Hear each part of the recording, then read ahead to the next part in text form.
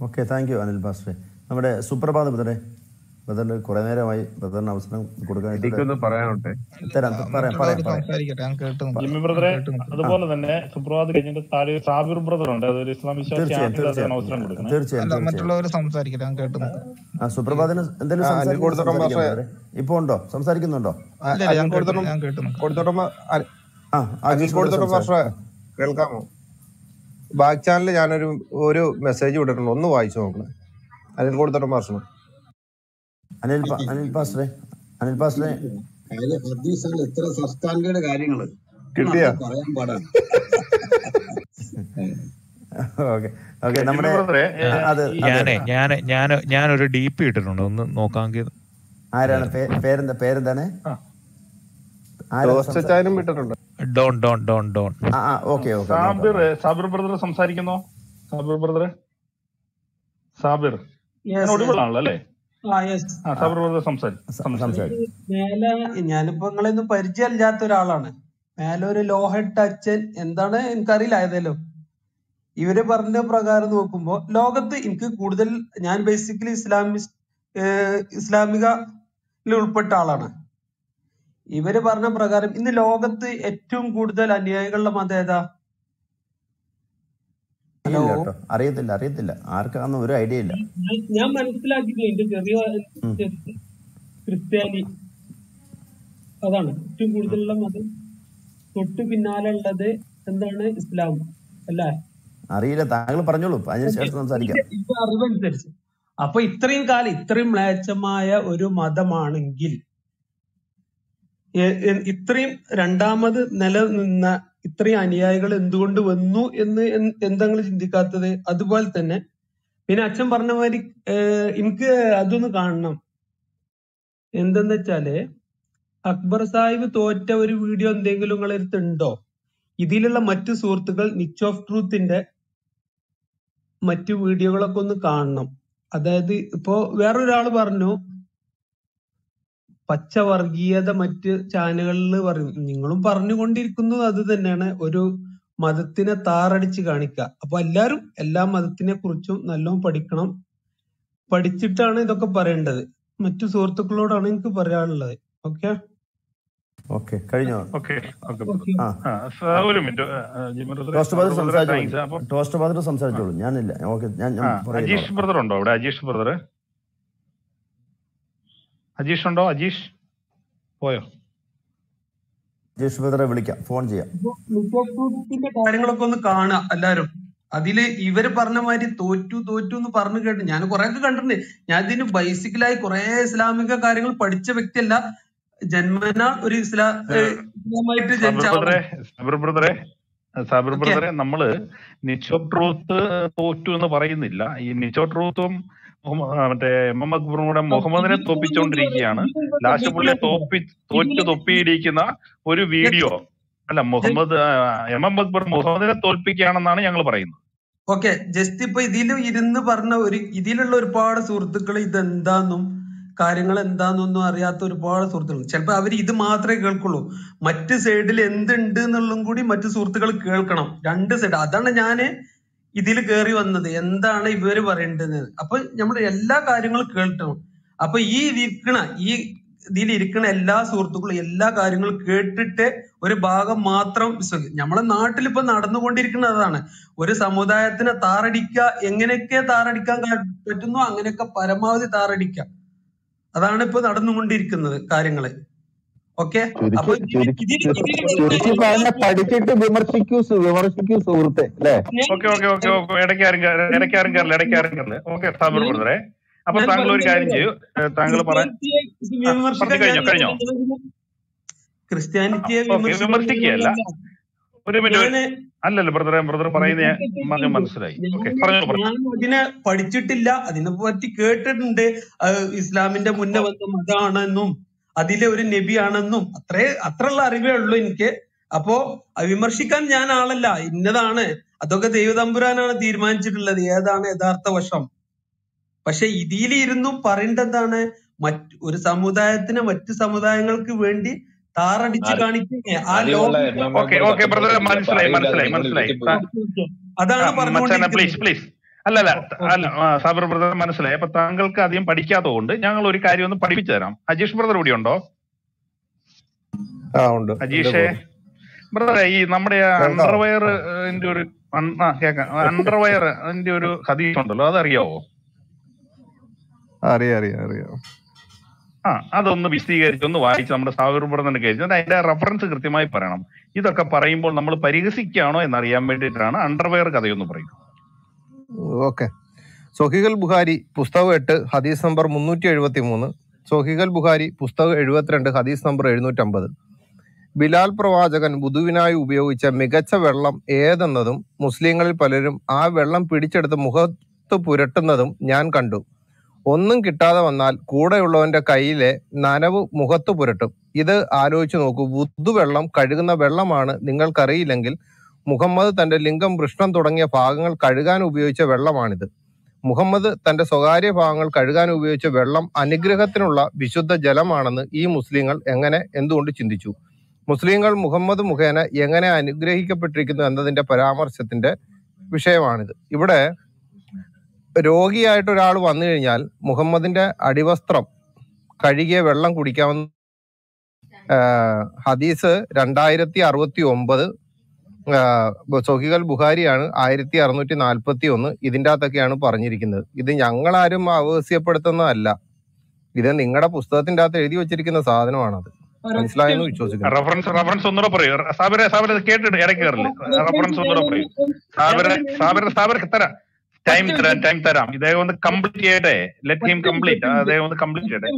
അല്ല no no no no ഇത് കഴിയട്ടെ നീ. തരാം ബ്രദറെ തരാം ബ്രദറെ കഴിയട്ടെ.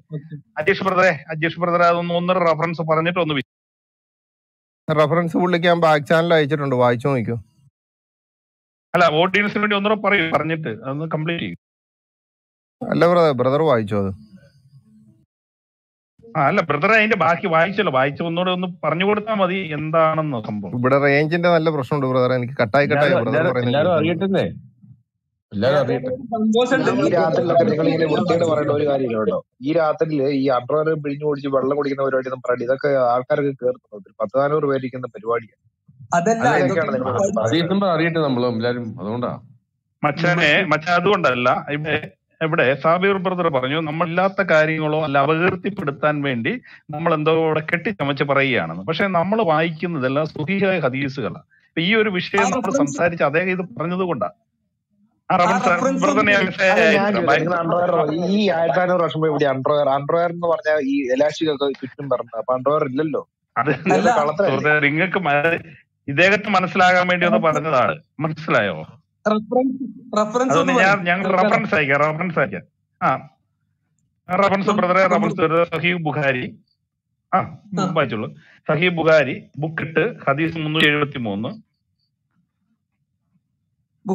അല്ലെങ്കിൽ ബുഖാരി ത്രീ സെവൻ ത്രീ ഇനി വീണ്ടും ഉണ്ട്. Book seventy book seventy two ഹദീസ് എഴുന്നൂറ്റി അൻപത് സെവൻ ഫിഫ്റ്റി സെവൻ ഫിഫ്റ്റി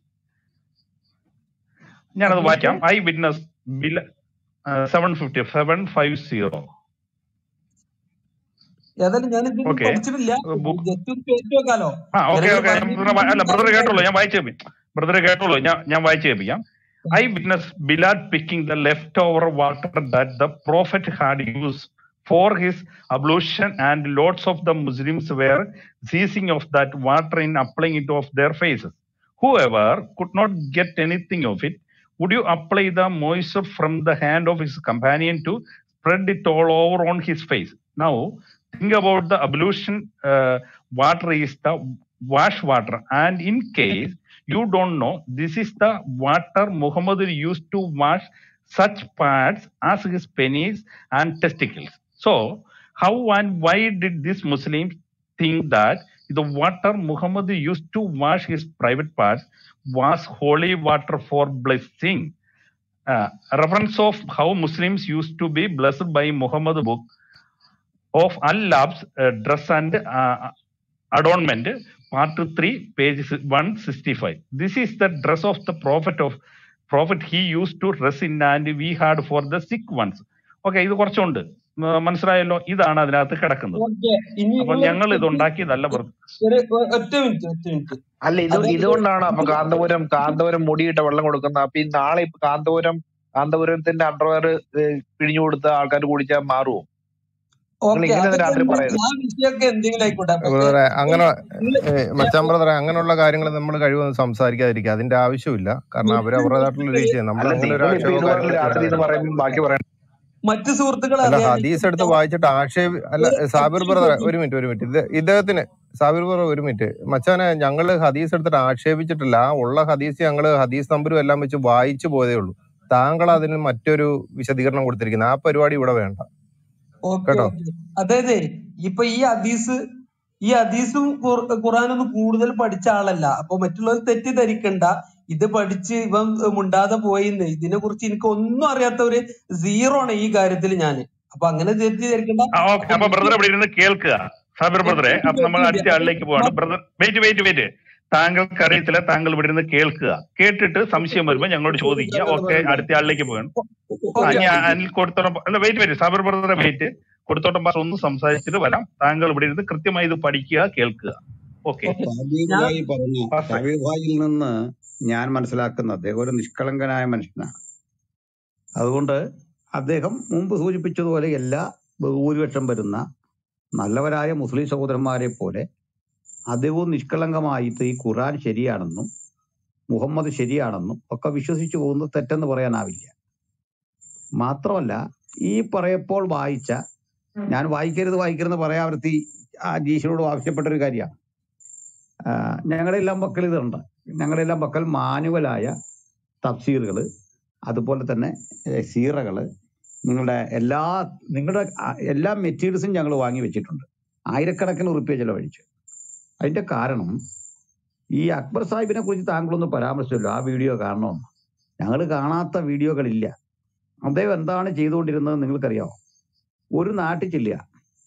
ആ നാട്ടിൽ ഈ വിധത്തിൽ ഇപ്പൊ താങ്കളെ പോലെ ഒരാളെ ഞങ്ങൾ ചർച്ചയ്ക്ക് കൊണ്ടുവന്നിട്ട് ചർച്ച ചെയ്യാ കഴിഞ്ഞാൽ താങ്കൾ വേണ്ട വിധത്തിൽ ഖുറാനെ ഡിഫെൻഡ് ചെയ്യാൻ വേണ്ട അറിവുള്ള ഒരാളല്ല അത് താങ്കൾ തന്നെ പറഞ്ഞു. ഞാൻ നാളെ പോസ്റ്റ് അടിക്കുകയാണ്. സബീർ ആൻഡ് അൻകുടത്തോട്ട് ഒരു സംവാദം നടത്തുകയാണ്. അല്ലെങ്കിൽ സബീറും വർഗീസും സാമൂലും തമ്മിൽ ഒരു ചർച്ച നടക്കും വലിയ പബ്ലിസിറ്റി ഇടയ്ക്ക് കയറില്ല ഇടയ്ക്ക് കയറില്ല. ഞാൻ കേട്ടിരിക്കുന്ന ഒരാളാണ് നിങ്ങൾ പറയുന്നൊക്കെ കേൾക്കും. ഞാൻ ആരുടെ ഇടയ്ക്ക് കയറാറില്ല? ആവശ്യം ടൈം ചിലപ്പോൾ ആവശ്യപ്പെടും. അപ്പോ ഏതായാലും അങ്ങനെ ഒരു സന്ദർഭം നമ്മുടെ മുമ്പിൽ വന്നു. അദ്ദേഹം പോയിട്ട് തീരെ അറിവില്ലാത്ത ആളുകളെ ഓപ്പോസിറ്റ് ധ്രുവത്തിൽ വിളിച്ചുകൂട്ടി. ഇവർ പോയി പോയിട്ട് എന്തിനാണെന്ന് പോലും അറിയാതാണ് ഇതിൽ പങ്കെടുക്കുന്നത്. വിഷയം മുഴുവൻ ബൈബിൾ കേന്ദ്രീകൃതമായിരിക്കും. അല്ല ഇസ്ലാമിനെ കുറിച്ചല്ല.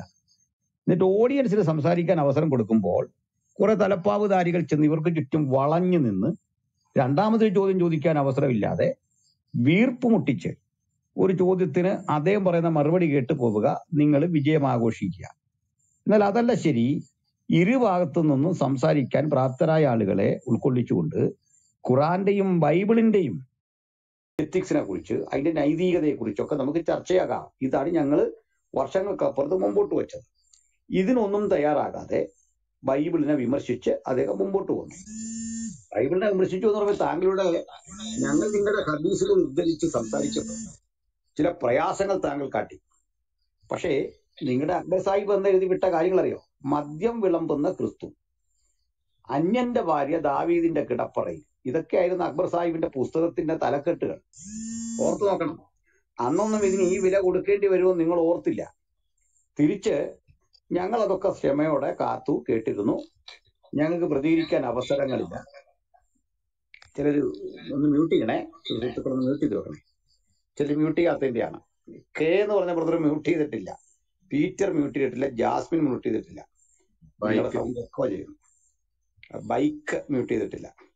ഇനിവേ അപ്പൊ ഞങ്ങൾ പ്രതികരിച്ചു തുടങ്ങി. പ്രതികരണം ശക്തമായപ്പോൾ ഖുറാൻ എന്ന ഈ പുസ്തകം അതിൽ ഒരു ഉള്ളടക്കവും ഇല്ല.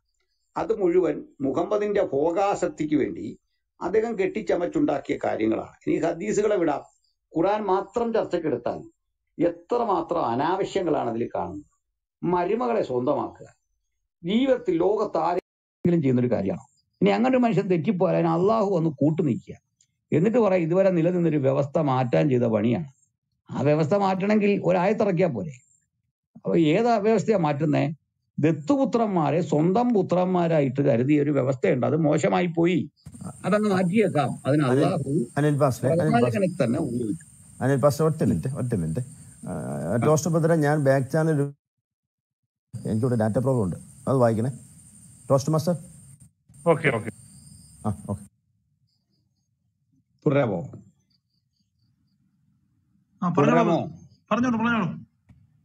തുടരാം തുടരാം തുടരാം. ഓക്കെ അപ്പോൾ അതിന് വേണ്ടി രായത്തിറക്കുന്നു സുഹൃത്തെ മനുഷ്യരാശി കടന്നുപോയ എത്രയോ പ്രശ്നങ്ങളുണ്ട്. അടിമത്തം. എന്തേ ഇസ്ലാം നിരോധിക്കാഞ്ഞ്? സ്ത്രീ സമത്വം. ഇസ്ലാം എന്താ പറഞ്ഞത്? സാഹോദര്യം. ഇസ്ലാം എന്താ പറഞ്ഞത്? അന്യമത വിദ്വേഷം. ഇസ്ലാം എന്താ ചെയ്തത്? ഇതൊന്നും നിരോധിക്കണമെന്ന് തോന്നാതിരുന്ന അതിനെയൊക്കെ പ്രോത്സാഹിപ്പിച്ച അള്ളാഹു. അകപ്പാടെ നിരോധിച്ച വസ്തു ഏതാ? ദത്തുപുത്രന്മാരെ സ്വന്തം പുത്രന്മാരായി കാണുന്നു. അത് മോശമാണ്. അതിനുവേണ്ടി സൈനബിനെ മുഹമ്മദ് വീണ്ടും കേട്ടുന്നു. ഇതൊക്കെ എത്ര മ്ലേച്ഛമാണ്. ഇത് മോശമല്ലേ? ഇതൊക്കെ ഞങ്ങൾ എടുത്തു കാണിക്കേണ്ടി വന്നത് നിങ്ങൾ ഞങ്ങളുടെ വേദികളിൽ വന്നിട്ട് യേശുവിനേക്കാൾ മോസസിനേക്കാൾ അല്ലെങ്കിൽ ലോകത്ത് വന്ന മഹർഷിമാരെക്കാൾ ഒക്കെ കേമൻ മുഹമ്മദ് ആണെന്ന് പറയുന്നു. ഞങ്ങൾ കൃത്യമായത്തുകൾ നിരത്തിയാണ് നിങ്ങളോട് ചോദിക്കുന്നത്. അല്ലെങ്കിൽ സ്വഹീഹായ ഹദീസുകൾ എടുത്തുകൊണ്ടാണ് നിങ്ങളോട് ചോദിക്കുന്നത്. നിങ്ങൾ ഇപ്പോൾ ഒരു വചനം ഉദ്ധരിച്ച് വിമർശിച്ചോളൂ ഒരു പ്രശ്നവുമില്ല. ഇനി ഇതൊന്നും വേണ്ട. ഞാൻ പ്രിയപ്പെട്ട സഹോദരൻ സാബീറിനോട് ചോദിക്കുകയാണ് ഞങ്ങൾ താങ്കൾക്ക് ഏറെ ബഹുമാനിക്കുന്ന കോടിക്കണക്കിന് ആളുകൾ ബഹുമാനിക്കുന്ന മുഹമ്മദ്. കോടിക്കണക്കിന് ആൾ ബഹുമാനിക്കുന്നു എന്നതുകൊണ്ട് ഞങ്ങൾ എല്ലാവരും ബഹുമാനിക്കണം ശാഠ്യം പിടിക്കരുത്. ബഹുമാനിക്കാം. ഞങ്ങൾ ബഹുമാനിക്കാൻ തയ്യാറാണ്. ഈ മുഹമ്മദിലെ അദ്ദേഹം പഠിപ്പിച്ചതല്ല. മുഹമ്മദ് എന്ന മനുഷ്യൻ കാട്ടിത്തന്ന മാതൃക. എനിക്കും സബീറിനും ഒക്കെ ഒരുപോലെ അനുകരിക്കാൻ കൊള്ളാവുന്ന മാന്യമായ ഒരു അഞ്ചാറ് കാര്യങ്ങളൊന്ന് പറയാമോ? അദ്ദേഹം ഇത് അങ്ങേക്ക് ഇത്രയും അറിയണമല്ലോ. നമ്മൾ ഗാന്ധിജിയിൽ നിന്ന് ഒത്തിരി കാര്യങ്ങൾ പഠിച്ചു. അഹിംസയെ കുറിച്ച് പഠിച്ചു. അത് ബുദ്ധൻ പഠിപ്പിച്ച മുമ്പ്. പക്ഷെ ഗാന്ധിജി അതിന്റെ പ്രായോഗികവാദിയായിരുന്നു. അഹിംസ അതുപോലെ അദ്ദേഹത്തിന്റെ സത്യാഗ്രഹ സമര രീതി ഇതൊക്കെ നമ്മൾ കണ്ടു. ഇതേപോലെ മനുഷ്യന് ഗുണം ചെയ്യുന്ന മനുഷ്യരാശിക്ക് മൊത്തം കൊള്ളാവുന്ന ഒരു നാലഞ്ച് കാര്യം അഞ്ച് കാര്യം മുഹമ്മദിൽ നിന്ന് അങ്ങൊന്ന് പറയൂ. ഞങ്ങൾ അത് വിശ്വസിക്കാനും ഇവിടെ വെച്ച് ഞങ്ങളുടെ വിമർശനം അവസാനിപ്പിക്കാനും തയ്യാറാണ്. എത്ര കുലങ്കുഷമായി ചിന്തിച്ചിട്ടും മുഹമ്മദിൽ ഞങ്ങൾ അങ്ങനെ ഒരു മാതൃകയും പലപ്പോഴും ഞാൻ പറയുന്ന പോലെ സോക്രട്ടീസിലുണ്ട് മാതൃക ഒത്തിരി കാര്യങ്ങൾ ഉൾക്കൊള്ളാനുണ്ട് പ്ലേറ്റോയിലുണ്ട് അരിസ്റ്റോട്ടിലുണ്ട് നമ്മുടെ ശ്രീനാരായണ ഗുരുവിലുണ്ട് അയ്യങ്കാളിയിലുണ്ട് രാഷ്ട്രപിതാവിൽ ധാരാളമുണ്ട്. ഇവരെയൊക്കെ നമ്മൾ കണ്ടു. പക്ഷെ മുഹമ്മദിൽ നിന്ന് മനുഷ്യരാശി എന്ത് ഉൾക്കൊള്ളണം എന്ത് പഠിക്കണം? അല്ലാതെ ഈ കുറെ അദ്ദേഹത്തിന്റെ പ്രസംഗം കേൾക്കണ്ട. ശവം പോയപ്പോൾ എഴുന്നേറ്റ് നിൽക്കാൻ പഠിപ്പിച്ചു. അല്ലെങ്കിൽ മൂത്രം ഒഴിക്കേണ്ട രീതി പഠിപ്പിച്ചു. എങ്ങനെ തിരിഞ്ഞു നിൽക്കണമെന്ന് പഠിപ്പിച്ചു. വാ കഴുകേണ്ട രീതി പഠിപ്പിച്ചു. ഇതൊന്നും കാര്യമൊന്നുമില്ല. നമുക്ക് വേണ്ടത് ഈ മനുഷ്യൻ മനുഷ്യരാശിക്ക് കൊടുത്ത ധാർമ്മിക പ്രമാണങ്ങൾ എന്താണ്? ധാർമ്മികമായ എന്ത് ഗുണങ്ങൾ? അതിലൊരു അഞ്ചെണ്ണമെങ്കിലും സാബീറിന് പറയാൻ പറ്റുമെങ്കിൽ നമ്മുടെ ഈ ചർച്ച കൊണ്ട് ഗുണമുണ്ട്. അങ്ങൊരു ഈ ശക്ത ഭക്തനായ മുസ്ലിമാണല്ലോ. അങ്ങക്ക് എന്താണ് മുഹമ്മദിലെ ഗുണങ്ങൾ മനസ്സിലായത്? ദയവായിട്ടൊന്ന് പറഞ്ഞോളൂ. നമ്മുടെ ചർച്ച എളുപ്പമാകും. ഞങ്ങൾ ഈ വിമർശനങ്ങളെല്ലാം പിൻവലിക്കാനും തയ്യാറാണ്. പറയൂ. നിങ്ങളെ ഒരു വിമർശനം പിൻവലിക്കണം ബ്രോ ഒരു സെക്കൻഡ് ഒറ്റ സെക്കൻഡ് നമ്മൾ ഓടി ഒറ്റ സെക്കൻഡ് ഒറ്റ സെക്കൻഡ് നമ്മുടെ സ്പീക്കേഴ്സിൽ ഒരുപാട് പേര് അൺമ്യൂട്ട് ചെയ്ത് വെക്കുന്നതായിട്ട് കാണാം. ദയവീത് ഒരാൾ സംസാരിക്കുമ്പോൾ വേറെ ആരും മൈക്ക് അൺമ്യൂട്ട് ചെയ്ത് വെക്കരുത് പ്ലീസ് ആ സാബിർ ബ്രോ പറഞ്ഞോളൂ.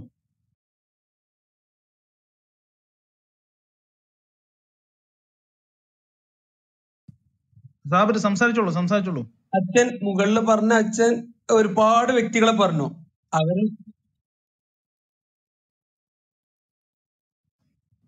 അദ്ദേഹത്തെ കേൾക്കുന്നില്ല എന്റെ മിസ്റ്റേക്ക് ആണോ? അതോ? അല്ലല്ല ഹലോ. കേൾക്കുന്നില്ല. സാബിർ കേൾക്കുന്നില്ല. സാബിർ മുകളിൽ ബ്രദറിന്റെ പറഞ്ഞ ഇടയ്ക്ക് മ്യൂട്ട് ആകുന്നുണ്ടേ? ഒരുപാ അച്ഛൻ ഒരുപാട് കാര്യങ്ങൾ പറഞ്ഞു. ഒരുപാട് ആൾക്കാരെ കുറിച്ച് ഒരുപാട് നന്മകൾ പറഞ്ഞു. അപ്പൊ അച്ഛൻ മുഹമ്മദ് നബിയിൽ ഒരു നന്മ കാണാത്തതുകൊണ്ട് ഞാനും കൂടുതൽ ഇതിന്ന് പഠിച്ച ആളല്ല. ഞാൻ പറഞ്ഞു ജന്മനാൾ ഇസ്ലാമാണ് ഞാൻ. അതിൽ കുറച്ച് ഭാഗങ്ങളെ പഠിച്ചിട്ടുള്ളൂ. ഈ അച്ഛനെ തോൽപ്പിച്ച് പറഞ്ഞു കൊടുക്കാനുള്ള കഴിവൊന്നും എനിക്കില്ല. ഇത്രയും കാര്യങ്ങൾ ഇത്രയും വ്യക്തികളുടെ കാര്യങ്ങൾ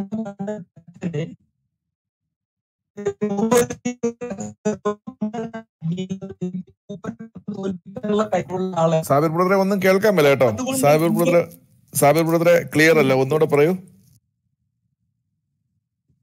അതായത് മുകളിലുള്ള അച്ഛൻ ഒരുപാട് കാര്യ ഒരുപാട് ഗാന്ധിജിനെ പറഞ്ഞു. പിന്നെ ഒരുപാട് സെക്രട്ടറീസിനെ പറഞ്ഞു. അങ്ങനെ ഒരുപാട് വ്യക്തികളെ പറഞ്ഞു. കേൾക്കുണ്ടോ ഹലോ? ആ കേൾക്കുന്നുണ്ട്. പറഞ്ഞു. ഓക്കെ. അപ്പോ അച്ഛനെതിരെ അതായത് മുഹമ്മദ് നബിയിൽ ഇത്രയും ക്വാളിറ്റികൾ ഉണ്ട് എന്ന് പറഞ്ഞ് പഠിപ്പിക്കാൻ അത്ര ഒരു ഇസ്ലാമിസ്റ്റ് അല്ല ഞാൻ. അത്രയും കാര്യങ്ങൾ കൂടുതലായി വൈഡായിട്ട് പഠിച്ച ആളല്ല. ഇനി ഇത്രയും വ്യക്തികളെ കാര്യങ്ങളിൽ നന്മ കണ്ടെത്തിയ അച്ഛന് മുഹമ്മദ് നബിയിൽ കണ്ട കണ്ടെത്താത്തത് കൊണ്ട് അതായത് ഒന്നും കണ്ടെത്താൻ കഴിഞ്ഞിട്ടില്ല. അപ്പൊ ഇനിയിപ്പോ ഞാൻ ഇനിയിപ്പോ എന്ത് എന്ത് നിർത്തിയിട്ടും അച്ഛന്റെ മനസ്സിൽ കേറൂല. അച്ഛന്റെ മനസ്സിൽ അത്രയും ഇരുട്ട് ആ കാര്യത്തിൽ മാത്രം ഇരുട്ടായിട്ടുണ്ട്. അതുകൊണ്ട് സോറി എനിക്ക് അതിനെ കുറിച്ച് പറയാനും അറിയില്ല.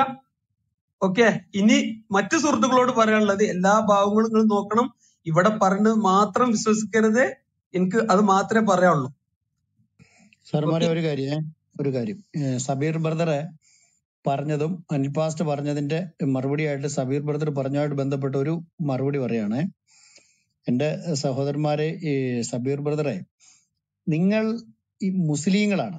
അല്ലെങ്കിൽ ഇദ്ദേഹം മുസ്ലിം ആണെങ്കിൽ നിങ്ങൾ മുസ്ലിങ്ങളാണ്. നിങ്ങൾ വളരെ ചെറുപ്പം മുതൽ തന്നെ ഇസ്ലാമിനെ പഠിക്കുകയാണ് പ്രവാചകനെ പഠിക്കുകയാണ്. നിങ്ങൾ ബൈബിളിന് എതിരായിട്ട് നിങ്ങൾ പഠിക്കുകയാണ് യേശുവിനെ എതിരായിട്ട് നിങ്ങൾ പഠിക്കുകയാണ് നിങ്ങളെ പഠിപ്പിക്കുകയാണ്. യേശു ക്രൂശിൽ മരിച്ചിട്ടില്ല. യേശുവിന് എതിരായിട്ടൊന്നും ഞങ്ങൾ ഞാൻ പറയാം ഞാൻ പറയാം ഞാൻ പറയാം എന്ന് പറഞ്ഞാൽ ബൈബിൾ ഞാൻ പറയാം ഞാൻ പറയാം. ബൈബിൾ തിരുത്തപ്പെട്ടതാണ്. യേശു ക്രൂശിൽ മരിച്ചിട്ടില്ല. യേശു ഒരു ദൈവമല്ല. യേശു ഒരു പ്രവാചകനാണ്. ഇങ്ങനെയൊക്കെയുള്ള നിങ്ങൾ ബൈബിൾ വിരുദ്ധ ക്രൈസ്തവ വിരുദ്ധമായ ആശയങ്ങൾ. പക്ഷെ അത് ഒറ്റ മിനിറ്റ്. വിരുദ്ധം ഞാൻ പറട്ടെ ഒറ്റ മിനിറ്റ് സുഹൃത്തെ. യേശു ഇടയ്ക്ക് കയറായിരിക്കും പ്ലീസ് പാസ്റ്റർ കംപ്ലീറ്റ് ചെയ്യട്ടെ എന്നിട്ട് നിങ്ങൾ സംസാരിക്കും. ആ ഞാൻ പറഞ്ഞു കഴിഞ്ഞിട്ട് സബീർ പറഞ്ഞു. ഇങ്ങനെ നിങ്ങളെ പഠിപ്പിച്ച് എന്നിട്ട് നിങ്ങളുടെ മുഹമ്മദ് വലിയൊരാളാണെന്ന് നിങ്ങളെ പഠിപ്പിച്ച് നിങ്ങൾ ഇത്രയും ആയി ഇന്ന് ലോകത്തിൽ ഇപ്പൊ അൽപാസ് ഇവിടെ പറഞ്ഞതുപോലെ ഞങ്ങൾക്ക് മുൻപോട്ട് മുഹമ്മദിനെ കുറിച്ച് പറയാൻ ധാരാളം അധാർമികതകളുണ്ട്. ഒരു പൊതുസമൂഹത്തിന്റെ മുമ്പിൽ ഞങ്ങളുടെ കോമൺ സെൻസിൽ സാധാരണ ബുദ്ധിയിൽ സാമാന്യ ബുദ്ധിയിൽ ഞങ്ങൾക്ക് ഉൾക്കൊള്ളാൻ കഴിയാത്ത കാര്യങ്ങൾ ആറു വയസ്സുകാരിയെ കെട്ടി അതിനെ ഞങ്ങൾ മാതൃകയാക്കാൻ അത് പറ്റുന്ന കാര്യമല്ല.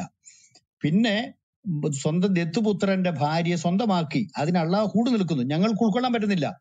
ഇങ്ങനെ നൂറ് നൂറ് കാര്യങ്ങൾ പറയാൻ കിടക്കുമ്പോൾ ഞങ്ങൾ ഇത് നിങ്ങളുടെ പുസ്തകത്തിൽ നിന്ന് ഉന്നയിക്കുമ്പോൾ വായിച്ചു കേൾപ്പിക്കുമ്പോൾ നിങ്ങൾ ഇവിടെ വന്ന് ഞങ്ങളോട് വിഷമവും പ്രതി പ്രതിഷേധവും നിങ്ങൾക്കുണ്ടാവാറുണ്ട് പക്ഷെ ഞങ്ങൾ ചോദിക്കുന്നത് ശ്രീനാരായണ ഗുരുവിന്റെയും അല്ലെങ്കിൽ സോക്രട്ടീസിന്റെയും അല്ലെങ്കിൽ ഈ ലോകത്ത് ജീവിച്ച ഇതര മതസ്ഥാപകരുടെയും മതനേതാക്കന്മാരുടെയും സാമൂഹ്യ പരിഷ്കർത്താക്കളുടെ ഒക്കെ ജീവചരിത്രം പഠിക്കുമ്പോൾ കുറച്ച് നന്മകൾ ഞങ്ങൾക്ക് അതിൽ നിന്ന് വായിച്ചെടുക്കാൻ പറ്റുന്നുണ്ട്. കുറെ നല്ല കാര്യങ്ങൾ വായിച്ചെടുക്കാൻ പറ്റുന്നുണ്ട്. പക്ഷെ ഞങ്ങൾ ഏത് വ്യൂ വെച്ചുകൊണ്ട് മുഹമ്മദിനെ നോക്കുമ്പോൾ അതിനകത്ത് നന്മ കാണുന്നില്ല വയ്യ. പക്ഷെ അന്നേരം നിങ്ങൾ എന്താ ചെയ്യേണ്ടത്? നിങ്ങൾ ഇപ്പൊ പറഞ്ഞു നിങ്ങൾക്ക് അത് കാണാൻ പറ്റാത്ത രീതിയിൽ അനിൽ പാസ്റ്ററുടെ ഹൃദയത്തിൽ ഇരുട്ടാണ്. ഓക്കെ ഞാൻ തിരിച്ചു ചോദിക്കുകയാണ്. വെളിച്ചമുള്ള നിങ്ങൾ ഇതുവരെ നിങ്ങളുടെ മഹോന്നതനെന്ന് നിങ്ങൾ പ്രഘോഷിച്ച വിശ്വസിച്ച അല്ലെങ്കിൽ നിങ്ങളുടെ ദാവാ പ്രസംഗ പ്രഭാഷകരും നിങ്ങളുടെ പണ്ഡിതന്മാരും നാഴിക്ക് നാൽപ്പത് പ്രാവശ്യം മുഹമ്മദ് എന്തോ കൂടെ അതിനൊക്കെ ചേർക്കുമല്ലോ അദ്ദേഹം മഹോന്നതനാണ് ഉന്നതനാണ് പിന്നെ മാതൃകയാണെന്ന് പറയുന്ന ആ വ്യക്തിയിലെ ഒരു പത്ത് കാര്യം നിങ്ങൾക്ക് ഒരു പൊതുസഭയുടെ മുമ്പിൽ പറയാൻ പറ്റാതെ എനിക്കറിയത്തില്ല ഞാൻ അതിനെക്കുറിച്ച് പഠിച്ചില്ല എന്ന് പറഞ്ഞാൽ നിങ്ങളുടെ ആ ദയനീയതയല്ലേ ഈ സമൂഹത്തിന് മുമ്പിൽ നിങ്ങൾ വെളിപ്പെടുത്തുന്നത് നിങ്ങളുടെ ആരാധ്യ പുരുഷന്റെ ഒരു അഞ്ച് കാര്യം പറയാൻ പറയുമ്പോൾ ഞാൻ അത്രയും പഠിച്ചിട്ട് പിന്നെ നിങ്ങൾ എന്താണ് പഠിച്ചത്? നിങ്ങൾ ലോകത്തിന് മാതൃക എന്ന് പറയുന്ന മുഹമ്മദ് എന്ന് പറയുന്ന ആ വ്യക്തിയിൽ നിന്ന് അഞ്ചു ഗുണങ്ങൾ പറയാൻ കഴിഞ്ഞില്ല? നിങ്ങൾ അതിനെ ചവിട്ടി കളയാന്ന് മാത്രമേ ഉള്ളൂ. അത് നിങ്ങൾക്ക് ഇല്ലെങ്കിൽ അത് നിങ്ങളുടെ പരിതാപകരമായ ഒരു അവസ്ഥയാണ് കാണിക്കുന്നത്. ഇനി സബീറിന് മറുപടി പറയാം. ഓക്കെ അത് നിങ്ങൾ പറഞ്ഞ ഞാൻ സമ്മതിച്ചു. ഞാൻ അതിനെ കുറിച്ച് കൂടുതൽ പഠിച്ചിട്ടില്ല എന്നുള്ളത് അതിന്റെ ഒരു പരിതാപകരമായ അവസ്ഥയാണ്. ഞാൻ ഏതായാലും നിങ്ങൾ നിങ്ങളിപ്പോ ഇത്രയും കാര്യങ്ങൾ പറഞ്ഞതുകൊണ്ട് അത് കുറച്ച് പഠിച്ചു വെക്കണം എന്നുള്ള ഇനി ഇവിടെ നിന്നുള്ള കാലത്ത് അത്യാവശ്യമാണ് എന്നുള്ളത് എനിക്ക് മനസ്സിലാക്കിയത് കൊണ്ട് ഇനി ഞാൻ അതിനെ കുറിച്ച് കൂടുതൽ പഠിക്കും. Okay?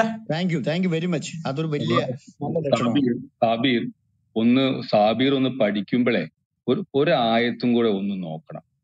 ഇത്രയും പൈശാചികമായിട്ടുള്ള ഒരു ആയത്ത് ഖുറാനിലല്ല ഒരു കിതാബിൽ നിങ്ങൾ കാണില്ല.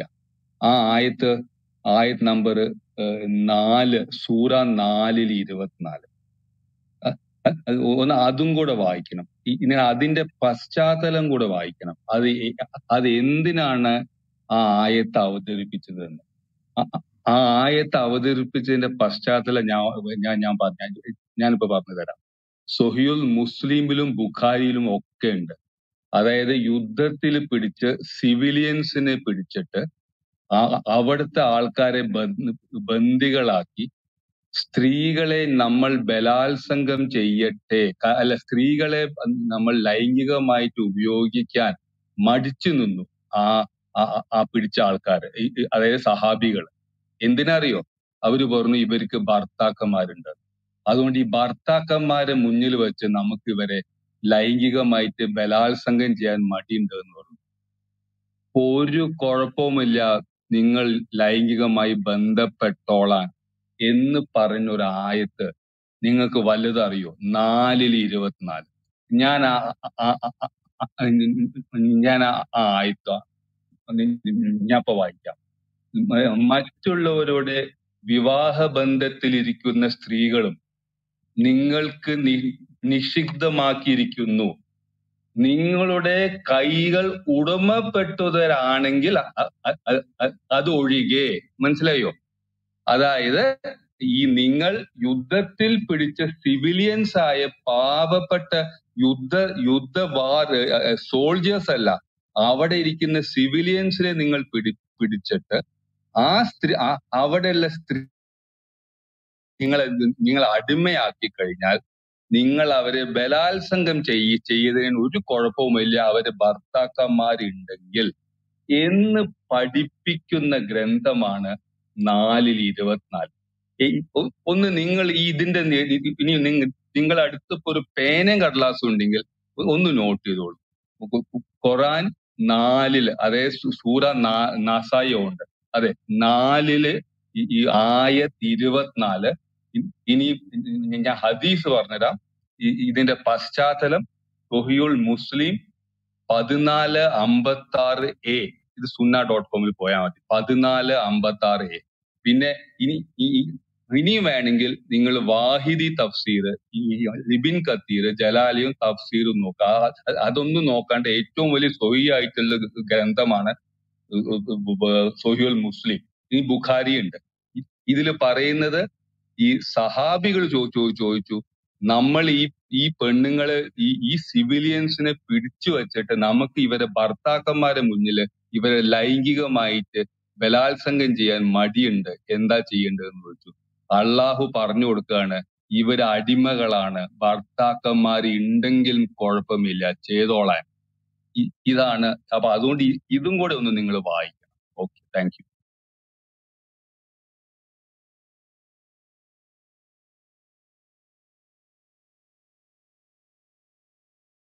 ഓക്കെ നമുക്ക് സബിറിന് മനസ്സിലായോ? സബിർ സബിർ ഉണ്ടോ ഓക്കെ ഓക്കെ എനിക്ക് കാര്യം നിങ്ങൾ പറഞ്ഞ മനസ്സിലായി. ഇത്രയും ഇത്രയും കാര്യങ്ങൾ പഠിച്ച വ്യക്തികൾ ഇതിലുണ്ട് എന്നുള്ളത് എനിക്ക് മനസ്സിലായി. ഇത്രയും കാര്യങ്ങൾ വൈഡായിട്ട് പഠിച്ചുകൊണ്ടിരിക്കുന്ന വ്യക്തികളുണ്ട് ഒരുപാട് വ്യക്തികളുണ്ടെന്ന് എനിക്ക് മനസ്സിലായി. സബിർ ഒരു കാര്യം കൂടെ ഞാൻ ചോദിച്ചോട്ടെ?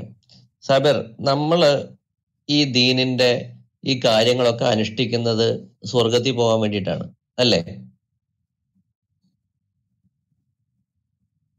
സാബിർ ഭായ് ഓക്കെ സാബിർ ഈ സ്വർഗത്തിൽ പോയാൽ നമ്മൾ എന്ത് കിട്ടുന്നു വിചാരിച്ചിട്ടാണ് ഈ സ്വർഗത്തിൽ പോകുന്നതെന്ന് ഒന്ന് പറഞ്ഞു തരാമോ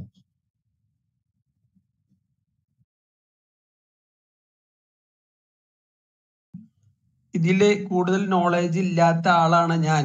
നിങ്ങൾ എന്ത് അല്ല അങ്ങനെ നോളേജ് ഇല്ലാത്ത ഒരാളിനെ വെറുതെ നമ്മൾ നിർത്തി ഇവിടെ ഇവിടെ സംസാരിക്കുന്നതിനേക്കാൾ നല്ല മറ്റുള്ള സഹോദരന്മാരിലേക്ക് പോകും. സാബിർ അവർ അവരുമായിട്ട് തീർച്ചയായിട്ടും സംസാരിക്കുന്നത് കേട്ട് തീർച്ചയായിട്ടും. അജീഷ് അജീഷ് ബ്രദറെ നമുക്ക് അടുത്ത ആളിലേക്ക് അതാണ് പോകാം. ഒന്ന് മൂടിയോ ഒന്ന് മൂടിയോ ഓക്കെ ഓക്കെ അതാണ് ബെസ്റ്റ്. അജീഷ് ബ്രദറെ ഒന്ന് മൂടിയോ? ഇവിടെ ഈ പവർ കണക്ഷൻ ആണ് കൂടുതലും കാണിച്ചുകൊണ്ടിരിക്കുന്നത്. ബ്രദറെ തന്നെ തന്നെ മ്യൂട്ട് അൺമ്യൂട്ട് ആവുന്നുണ്ട്. ചിലത് തന്നെ മ്യൂട്ട് ആവുന്നുണ്ട്. എന്തോ നെറ്റിന്റെ പ്രശ്നമാണോ? അതോ ഇനി വല്ല സൈറ്റിൽ ആരെങ്കിലും എന്തെങ്കിലും ട്രബിൾ ചെയ്യണാണോ അറിയില്ല. ഒന്ന് ലീവ് ചെയ്തിട്ട് കയറിയാൽ മതി ബ്രദറെ. റെഡി ആയിക്കോളും. അനിൽ അനിൽ സാറെ ഞാനൊരു സംശയം ഒന്ന് ചോദിച്ചോട്ടെ ഒരു കാര്യം. ഞാൻ ചോദിക്കൂ ചോദിക്കൂ ചോദിക്കൂ. ചോദിച്ചോളൂ. ആ ഞാൻ ഞാൻ ഇവിടെ കുറെ രണ്ടു മാസത്തോളമായിട്ട് നിങ്ങളുടെ ഗ്രൂപ്പുകളിൽ നിരന്തരമായിട്ട് ഈ മുഹമ്മദിന്റെ മനോഹരമായ ഗ്രന്ഥം പഠിച്ചുകൊണ്ടിരിക്കുകയാണ് ഇതിനകത്ത് ഞാൻ പലപ്പോഴായിട്ട് എനിക്ക് പല സഹോദരങ്ങളും പറയുന്നതിൽ ഒരു സംശയം തോന്നിയതാണ്. ഞാൻ ക്രൈസ്തവനാണ്. ഇതിൽ എനിക്ക് തോന്നിയ സംശയം എന്താണെന്ന് വെച്ചാൽ മാനവരിൽ മൗന ഒരു പ്രാവശ്യം പറഞ്ഞു ഞാൻ മരിച്ചു കഴിഞ്ഞാൽ എന്റെ ഭാര്യമാരെ ആരും കല്യാണം കഴിക്കാൻ പാടില്ല അത് എന്തുകൊണ്ടായിരിക്കും മുകളിലിരിക്കുന്ന മോഡറേറ്റേഴ്സ് നിങ്ങളെല്ലാം ക്ലിയർ ആയിട്ട് അറിയാവുന്നവരാണ്? ഒരു ഐഡിയ തന്നാൽ നല്ലതായിരിക്കും. അതെനിക്കിത് ഞാൻ ആ ഭാഗം ചിന്തിച്ചു. ഞാൻ എല്ലാം എഴുതി വെക്കാറുണ്ട്. പക്ഷെ ഇതെനിക്ക് എഴുതി വെക്കാൻ പറ്റില്ല. ആരോ പണ്ട് പറഞ്ഞായിരുന്നു. എല്ലാം ഞാൻ പോയിന്റ് വൈസ് ആയിട്ട് നോട്ട് ചെയ്ത് വെക്കുന്നുണ്ടായിരുന്നു. പക്ഷെ ഇത് അത് എന്തുകൊണ്ടായിരിക്കും അങ്ങനെ പറഞ്ഞിട്ടുള്ള ആരെങ്കിലും പറഞ്ഞാൽ മതി. ഞാൻ ചോദിച്ചത് നമുക്ക് മുഹമ്മദ് എന്ന മനുഷ്യനെ പഠന വിധേയമാക്കുമ്പോൾ മനസ്സിലാവുന്ന ഒരു വസ്തുത. അതിന് ആധാരം നമ്മളുടെ ഹദ്ദീസുകളും ഹദീസുകളും തഫ്സീറുകളും സീറകളുമൊക്കെയാണ്. സർവോപരി ഖുർആാനുമാണ്. ഈ മുഹമ്മദ് എന്ന വ്യക്തിയുടെ സ്വകാര്യമായ ഒത്തിരി ആവശ്യങ്ങൾ എങ്ങനെ ഒരു ദൈവത്തെ മുൻനിർത്തി സ്ഥാപിച്ചെടുക്കാം ഇത് അദ്ദേഹം നല്ല രീതിയിൽ അന്നത്തെ പാവം അറബികളെ ചൂഷണം ചെയ്യുന്നുണ്ട്. അവർ അവർക്ക് ചില ദുശീലങ്ങളൊക്കെ ഉള്ളവരാണ് അറബികൾ. അതിന്റെ തെളിവാണ് ഉമർ. ഉമർ വലിയ ക്രൂരനായ ഒരു മനുഷ്യനാണ് ഭയങ്കര ആക്ഷൻ നടത്തുന്ന ഒരാളാണ്. പക്ഷെ അദ്ദേഹം അന്ധമായി മുഹമ്മദിൽ വിശ്വസിച്ചു. ആദ്യം മുഹമ്മദിന്റെ എതിരാളിയായിരുന്നു. പിന്നീട് മുഹമ്മദിന്റെ അനുഗാമിയായി മാറിയപ്പോൾ ശക്തമായിട്ട് മുഹമ്മദിന് വേണ്ടി കൊല്ലുക. അതൊരു കലയാക്കി മാറ്റിയ ആളായിരുന്നു ഖലീഫ ഉമർ. പിൽക്കാലത്ത് ഖലീഫയാകുന്നു. ഇങ്ങനെ മുഹമ്മദിനൊപ്പം വന്ന ആളുകളിലൊക്കെ ഇതൊക്കെ പറയുമ്പോഴും മുഹമ്മദിൽ ഒരു കരിസ്മയുണ്ട്. ആ കരിസ്മ എന്ന് പറഞ്ഞാൽ അത് ഒരു നെഗറ്റീവ് ഇമ്പാക്റ്റ് ജനങ്ങളിൽ സൃഷ്ടിക്കാൻ അദ്ദേഹത്തിന് കഴിഞ്ഞിട്ടുണ്ട്. അത് നന്മയാണ് എന്ന രൂപത്തിൽ ലോകത്തിലെ തന്നെ ഏറ്റവും വലിയ തിന്മകൾ ജനങ്ങളിലേക്ക് എത്തിക്കുക. അപ്പോൾ അവിടെ മുഹമ്മദ് ഈ പറയപ്പെട്ട കല്യാണം എന്ന് പറയുന്നത് പഠിക്കേണ്ടതാണ്. അദ്ദേഹത്തിന്റെ വിവാഹം വേറിട്ട് പഠിക്കേണ്ട ഒരു വിഷയമാണ്. അതിന് അക്ബർ സാഹിബിനെ പോലുള്ള ചില ആളുകൾ ന്യായീകരണവാദികൾ പറയുന്നൊരു കാരണം നാൽപ്പത് വയസ്സ് വരെ ഈ മുഹമ്മദ് ഖദീജ ഒഴികെ അദ്ദേഹത്തിന്റെ ഖദീജ മരിക്കുന്നതുവരെ മറ്റൊരു സ്ത്രീ വിവാഹം കഴിച്ചില്ല. ചെറുപ്രായത്തിൽ പത്ത് ഇരുപത്തിമൂന്ന് വയസ്സുള്ള കാലത്ത് നാൽപ്പതുകാരിയായ ഖദീജയെ വിവാഹം കഴിച്ചു എന്നൊക്കെയാണ്. അപ്പോൾ അദ്ദേഹത്തിന്റെ യൗവനകാലം ഇത്രയും വാർദ്ധക്യമുള്ളൊരു സ്ത്രീയോടുകൂടെ ചിലവഴിച്ചു. നാൽപ്പത് ഒരു വാർദ്ധക്യമൊന്നും അല്ലെന്നുള്ള വേറൊരു വസ്തുത. ചിലവഴിച്ചു. എന്നിട്ട് അദ്ദേഹം അതിനു ശേഷമാണ് വിവാഹം കഴിക്കുന്നത്. ആയിഷ ബീവിയെ സൗദെ മറ്റേ ഉമ്മു ഹബീബ പിന്നെ ഹബ്സ സൈനബ് രണ്ടെണ്ണം ഇങ്ങനെ ഉള്ള ഒത്തിരി സ്ത്രീകളെ മാരിയത്ത് ഇവരെയൊക്കെ കല്യാണം കഴിക്കുകയാണ്. ഇത് കൂടാതെ കണക്കിൽപ്പെടാത്ത പത്ത് അൻപത് നാൽപ്പത് പേര് മിനിമം ഉണ്ട്. അത്രയും സ്ത്രീകളോടൊത്ത് അദ്ദേഹം ഇങ്ങനെ ജീവിക്കുകയാണ്. ഈ സ്ത്രീകളെ പരിചയപ്പെട്ട ഒരു കാര്യം മനസ്സിലാവും. ഇവരൊക്കെ തന്നെ വ്യത്യസ്ത പ്രായക്കാരാണ്. വ്യത്യസ്ത പ്രായക്കാർ ഒരേ ഘട്ടത്തിലാ ആറു വയസ്സുകാരി ആയിഷയും അറുപത് വയസ്സിന് മീതെ പ്രായമുള്ള സൗദയും ഇദ്ദേഹത്തിന്റെ പത്നിമാരാകുന്നത്. അതിൽ സൗദയെ ഉപേക്ഷിക്കുന്നുണ്ട്. ഉപേക്ഷിക്കാനുള്ള കാരണം വളരെ വിചിത്ര. സൗദയ്ക്ക് വാർദ്ധക്യവും തടിയും തൂക്കവും കൂടി അപ്പോൾ ഉപേക്ഷിച്ചു. അപ്പൊ ഇത് ഇവരുടെ വീക്ഷണം അനുസരിച്ച് ഈ മഹോനതിന് ഭയങ്കര മാതൃകയാണെന്നാണ്. എന്നാൽ രണ്ടാം ഘട്ടം സംഭവിക്കുന്നത് ഈ മദീനയിൽ വെച്ച് സൗദ കാണുക ഇദ്ദേഹത്തെ. കണ്ടിട്ട് കാലു പിടിച്ച് പറയും അള്ളാഹുവിന്റെ റസൂലെ എനിക്ക് ഭാര്യ പദവി ഭാര്യ പദവി വേണം പക്ഷേ എന്റെ കൂടെ അങ്ങ് ഭർത്താവിന്റെ കടമ നിർവഹിക്കേണ്ട വിച്ച് മീൻസ് സെക്സ് വേണ്ട. എന്റെ ഊഴം കൂടി ആയിഷയ്ക്ക് കൊടുത്തുകൊള്ളാം എന്ന കരാറിൽ തിരിച്ചെടുക്കുകയാണ് ഇദ്ദേഹത്തെ ഇവരെ.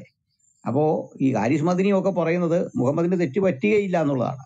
എന്നിട്ടാണോ ആദ്യം പറ്റിയ തെറ്റ് തിരുത്തുകയാണ് ഇവിടെ സംഭവിക്കുന്നത് രണ്ടാമത്. അപ്പൊ തടിയും തൂക്കവും വർദ്ധിച്ചാൽ ഒരു സ്ത്രീയെ ഉപേക്ഷിച്ച് കളയുന്ന ആളാണ് മാനവരിൽ മകോന്നതൻ ഇനി ഇങ്ങനെ വ്യത്യസ്തരായ സ്ത്രീകളെ കല്യാണം കഴിച്ചു.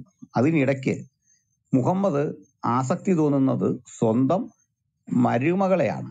അദ്ദേഹത്തിന് അടിമയായി കിട്ടിയ നമ്മുടെ സയ്യിദിനെയാണ്. ഈ സയ്യിദ് വളരെ പഠിക്കേണ്ട ഒരു കക്ഷിയാണ്. കാരണം അയാൾ ആദ്യം ഇസ്ലാം സ്വീകരിച്ച ആളുകളിൽ പെടും അബൂബക്കർ സയ്യിദ് ഖദീജയൊക്കെയാണ് ആദ്യം ഈ വിശ്വാസം സ്വീകരിക്കുന്നത്. അപ്പൊ ഈ സയ്യിദ് സത്യത്തിൽ സയ്യിദിന് വിവാഹം ആലോചിക്കുന്ന സൈനബിനും സയ്യിദിനും തമ്മിൽ ഒത്തിരി അകലമുണ്ട്. സയ്യിദിന് താല്പര്യമില്ല സൈനബിനും താല്പര്യമില്ല. പക്ഷെ ഇവരെ ബോധപൂർവം പിടിച്ചു കെട്ടിക്കുകയാണ്. അവന് വേണ്ടി തന്നെ ഖുറാനിലൊരു അധ്യായം ഉണ്ടാകുകയാണ്. അൽ അഹ്സാബ് അധ്യായം മുപ്പത്തി മൂന്ന് സൂറ മുപ്പത്തി മൂന്ന് അങ്ങനെ അപ്പൊ അവൻ വേണ്ടാന്ന് രണ്ടുപേരും പറയുമ്പോൾ ഒരു സമ്മതവും ഇല്ലാതെ പറയുമ്പോൾ പറയാണ് അള്ളാഹു അവന്റെ റസൂൽ ഒരു കാര്യം നിശ്ചയിച്ചു കഴിഞ്ഞാൽ പിന്നെ മനുഷ്യനെ മാറ്റാൻ പറ്റില്ല. അത് നിശ്ചയം നിശ്ചയം തന്നെയാണ്. യു മസ്റ്റ് മാരി അവർ വിവാഹം കഴിക്കുന്നു. അവരുടെ ദാമ്പത്യ ജീവിതം നീണ്ടു നിന്നില്ല. ഇതിന് പറയുന്ന കാര്യം ഉച്ചനീചത്വങ്ങൾ മാറ്റാൻ വേണ്ടി അള്ളാഹു നടത്തിയൊരു പണിയാണ് ഇത്. അങ്ങനെയാണെങ്കിൽ ഈ ഉച്ചനീചത്വം മാറ്റാൻ നടത്തിയ പരിപാടി പരാജയപ്പെടുകയാണ്. ഒരു വർഷത്തിക്കുള്ളത് നിന്നില്ല. രണ്ടാമത് ഇതേ മുസ്ലിങ്ങൾ പറയുന്ന മറ്റൊരു വാദമുണ്ട് ദാവക്കാർ പറയുന്നത്. ഇതുപോലെ തന്നെയാണ് സഫിയെ വിവാഹം കഴിക്കുന്ന വേളയിൽ കിനാനയുടെ ഭാര്യ കിനാനയെ വധിച്ചു അപ്പനെ വധിച്ചു ആ നാട് മുഴുവൻ വെട്ടി പുരുഷന്മാരെയൊക്കെ കൊന്നിട്ട് വളരെ ധനാഢ്യനായ കിനാനയുടെ പേരിലെ കുറ്റം എന്താണെന്നറിയണ്ടേ? യുദ്ധ കൊടുമ്പിരി കൊണ്ട് വരുമ്പോൾ അയാൾ പണി ചെയ്ത് അധ്വാനിച്ചു വെച്ച സ്വത്ത് അയാൾ കുഴിച്ചിട്ടു. അത് ഇവർക്ക് കൊടുത്തില്ല.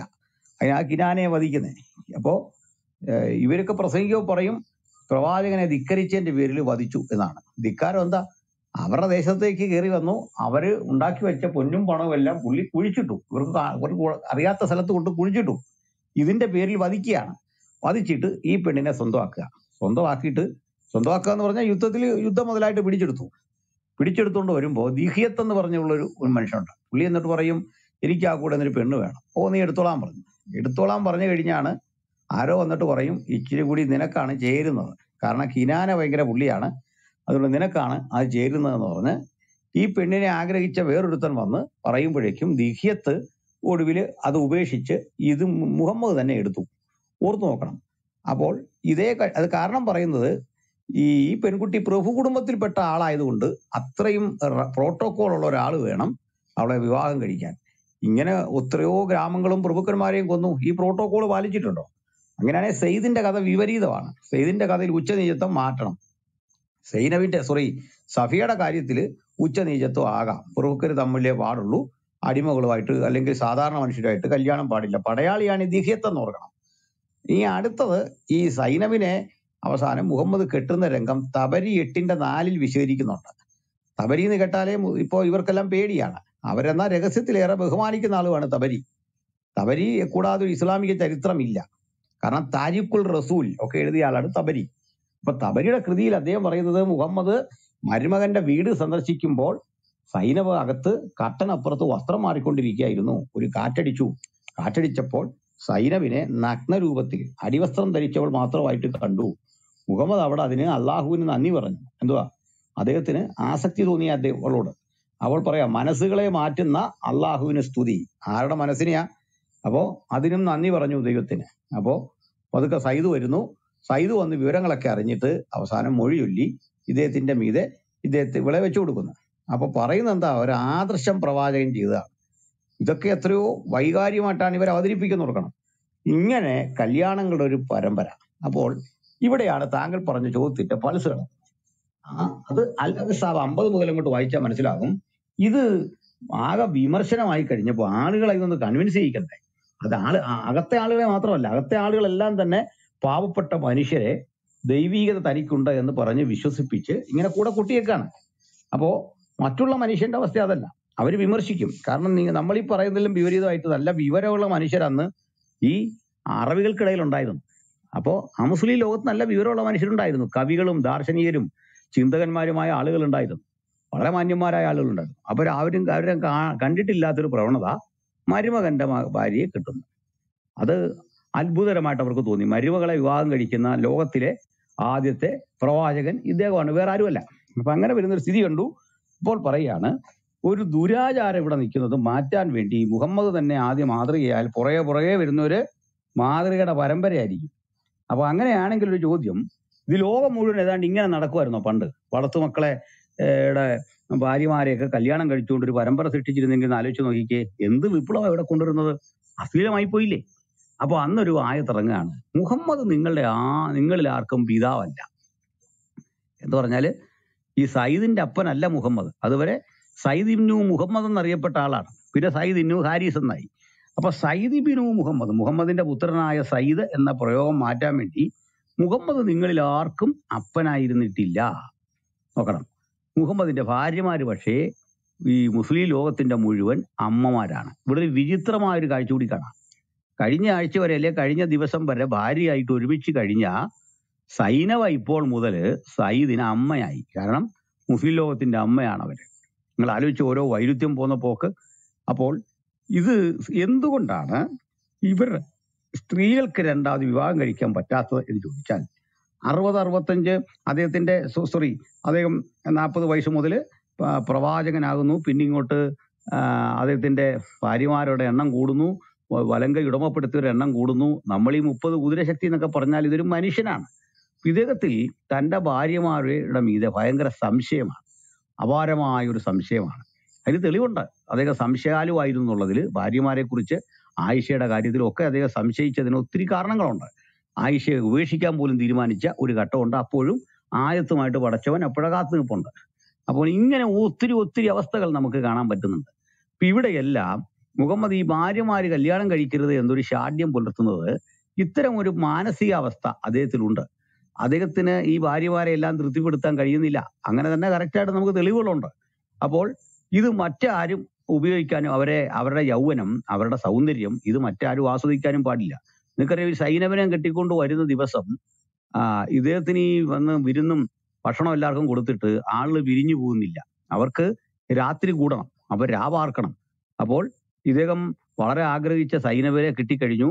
അപ്പോൾ ഈ സൈന്യവുമായിട്ട് ഒന്നിച്ച് വീട് കൂടേണ്ട സമയം എത്തിയിട്ടും ഭക്ഷണം കഴിച്ചൊരു പിരിഞ്ഞു പോകാതെ വരുമ്പോൾ അവിടെയും പടച്ചവൻ ആയത്തിറക്കി. നിങ്ങൾ ആരെങ്കിലും നബിയുടെ വീട്ടിൽ ചെന്നാൽ അവിടെ തുറ പറഞ്ഞിരിക്കരുത്. അള്ളാഹുങ്കൽ നബിക്ക് ഇത് പറയാൻ ഭയങ്കര വിഷമമായിരിക്കും.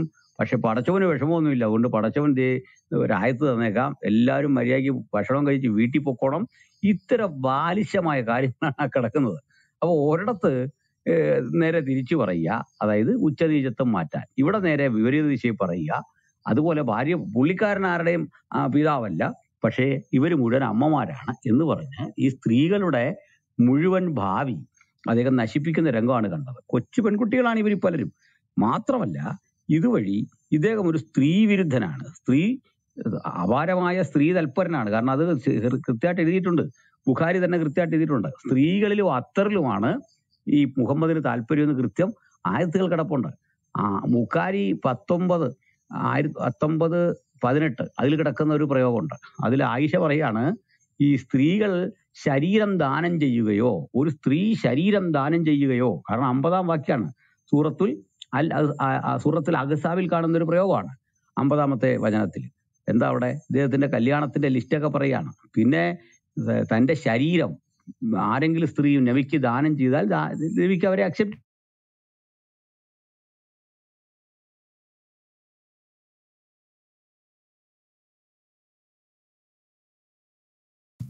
അൽപാസ്റ്റ കേൾക്കുന്നില്ല കേട്ടോ? പാസ്റ്റർ നെറ്റ് പോയെന്ന് തോന്നുന്നു. പാസ്റ്റർ കേൾക്കാമോ ഇപ്പൊ കേൾക്കാമോ കോൾ വല്ല വന്നു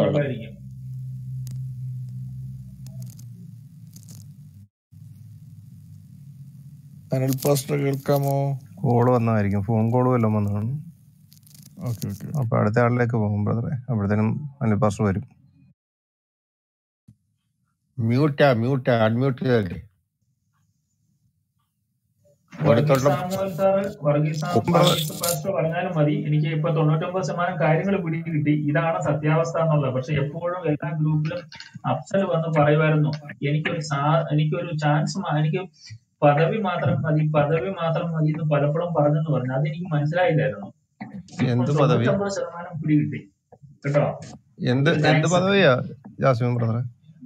അല്ല ഈ പലരും കല്യാണം കഴിച്ച സമയത്ത് അതായത് അഫ്സൽ എന്ന് പറഞ്ഞൊരു പയ്യൻ എപ്പോഴും ഈ ഗ്രൂപ്പുകളിൽ ക്രൈസ്റ്റ് വാര്യർ ഗ്രൂപ്പിലൊക്കെ വന്ന് പറയുമ്പം വിവാഹത്തെ കുറിച്ചും ഭാര്യമാരെ കുറിച്ചും പറയുമ്പം പുള്ളിക്കാരൻ പറയുമായിരുന്നു പല ബീവിമാരും പറയുമായിരുന്നു ഞങ്ങൾക്ക് ജസ്റ്റ് പേര് മാത്രം ഓൺലി ഫോർ നെയിം എപ്പോഴും സൂക്ഷിച്ചാൽ മതി. അല്ലാതെ വേറെ ഒന്നും വേണ്ട എന്റെ സ്ഥാനവും എന്റെ ടൈമും കൂടെ മറ്റവർക്ക് കൊടുത്തോളാൻ പറയുമായിരുന്നേ അപ്പം അന്ന് എന്റെ മനസ്സിലൊരു കൺഫ്യൂഷൻ ഉണ്ടായിരുന്നു. അങ്ങനെ ഒരു ആവശ്യം ഒന്നെങ്കിൽ ഇവക്ക് തലാക്കേരി പോയല്ലോ അപ്പം ഇപ്പം വർഗീസ് അല്ല നമ്മുടെ അനിൽ അൻസാർ പറഞ്ഞപ്പോഴാണ് എനിക്ക് മനസ്സിലായത്. ഇത് ആദ്യം മുതലേ ഇത് ഒന്നല്ല ഇങ്ങനെ ചെയിനായിട്ട് കിടക്കുന്ന ഒരു ശൃംഖലയാണ് വർഗീസ് അതിനകത്ത് എന്തെങ്കിലും ആഡ് ഓൺ ചെയ്യാനുണ്ടോ? വർഗീസ് ചെയ്യാനുണ്ടോ? അനിൽ അനിൽ സാറിന് കേൾക്കാമോ? ആ കേൾക്കാം. ആ ഇടയ്ക്ക് വെച്ചിട്ട് കട്ടായി പോയായിരുന്നു സാർ കണ്ടിന്യൂ ചെയ്തോളൂ സാറേ. അതിലുള്ള ഒരു ഒരു വസ്തുത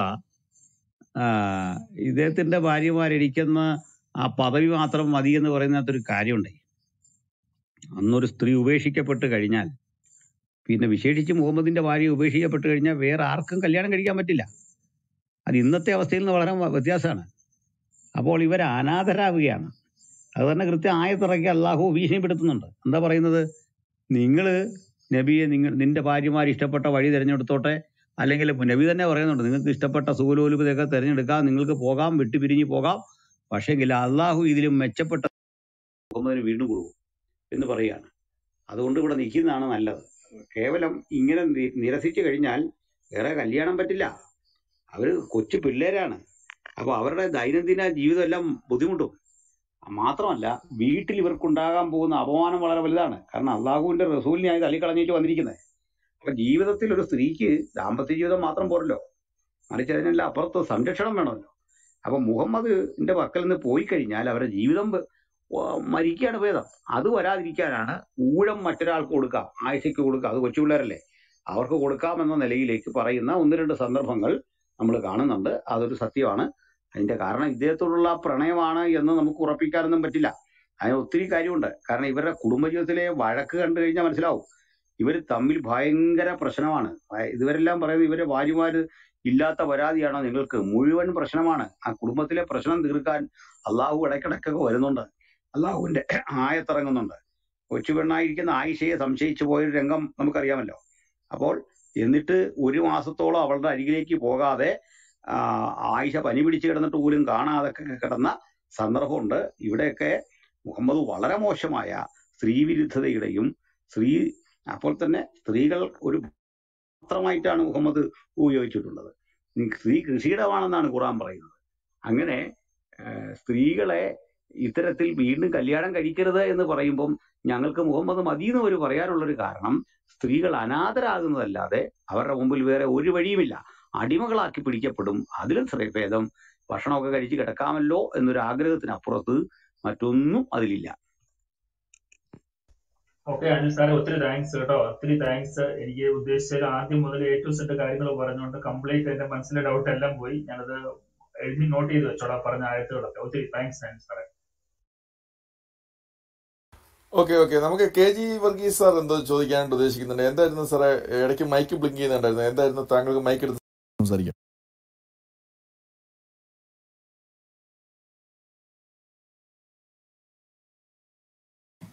ഹലോ ഹലോ ഹലോ ഞാനൊന്നും പറഞ്ഞില്ല അത് കോടിത്തോട്ടം പാസ്റ്ററുടെ മൈക്ക് മ്യൂട്ട് ആയിരുന്നു അത് പറഞ്ഞായിരുന്നു. ആ ഓക്കെ ഓക്കെ ഓക്കെ ജീഷ് ബ്രദറെ നമുക്ക് അടുത്ത ആളിലേക്ക് പോവാം. Okay okay Johnson സംസാരിച്ചായിരുന്നു? Johnson brother? ഞാനും ചോദിച്ചോട്ടെ അൽഫാസിനോട് ചോദ്യമായിരുന്നു ഓക്കെ ഞാൻ മറ്റേ അക്ബറിന്റെ ഒരു വീഡിയോ ഒന്ന് പ്ലേ ചെയ്യാവേ അതിൽ നിന്നൊരു ക്വസ്റ്റ്യൻ ആയിരുന്നു. പ്ലേ ചെയ്തോളൂ. ഓരോന്ന് പുതിയത് വരികയാണ് കേട്ടാൽ നമ്മൾ പേടിച്ചു പോകും. മുഹമ്മദ് ബലാത്സംഗത്തിന് ശ്രമിച്ചു.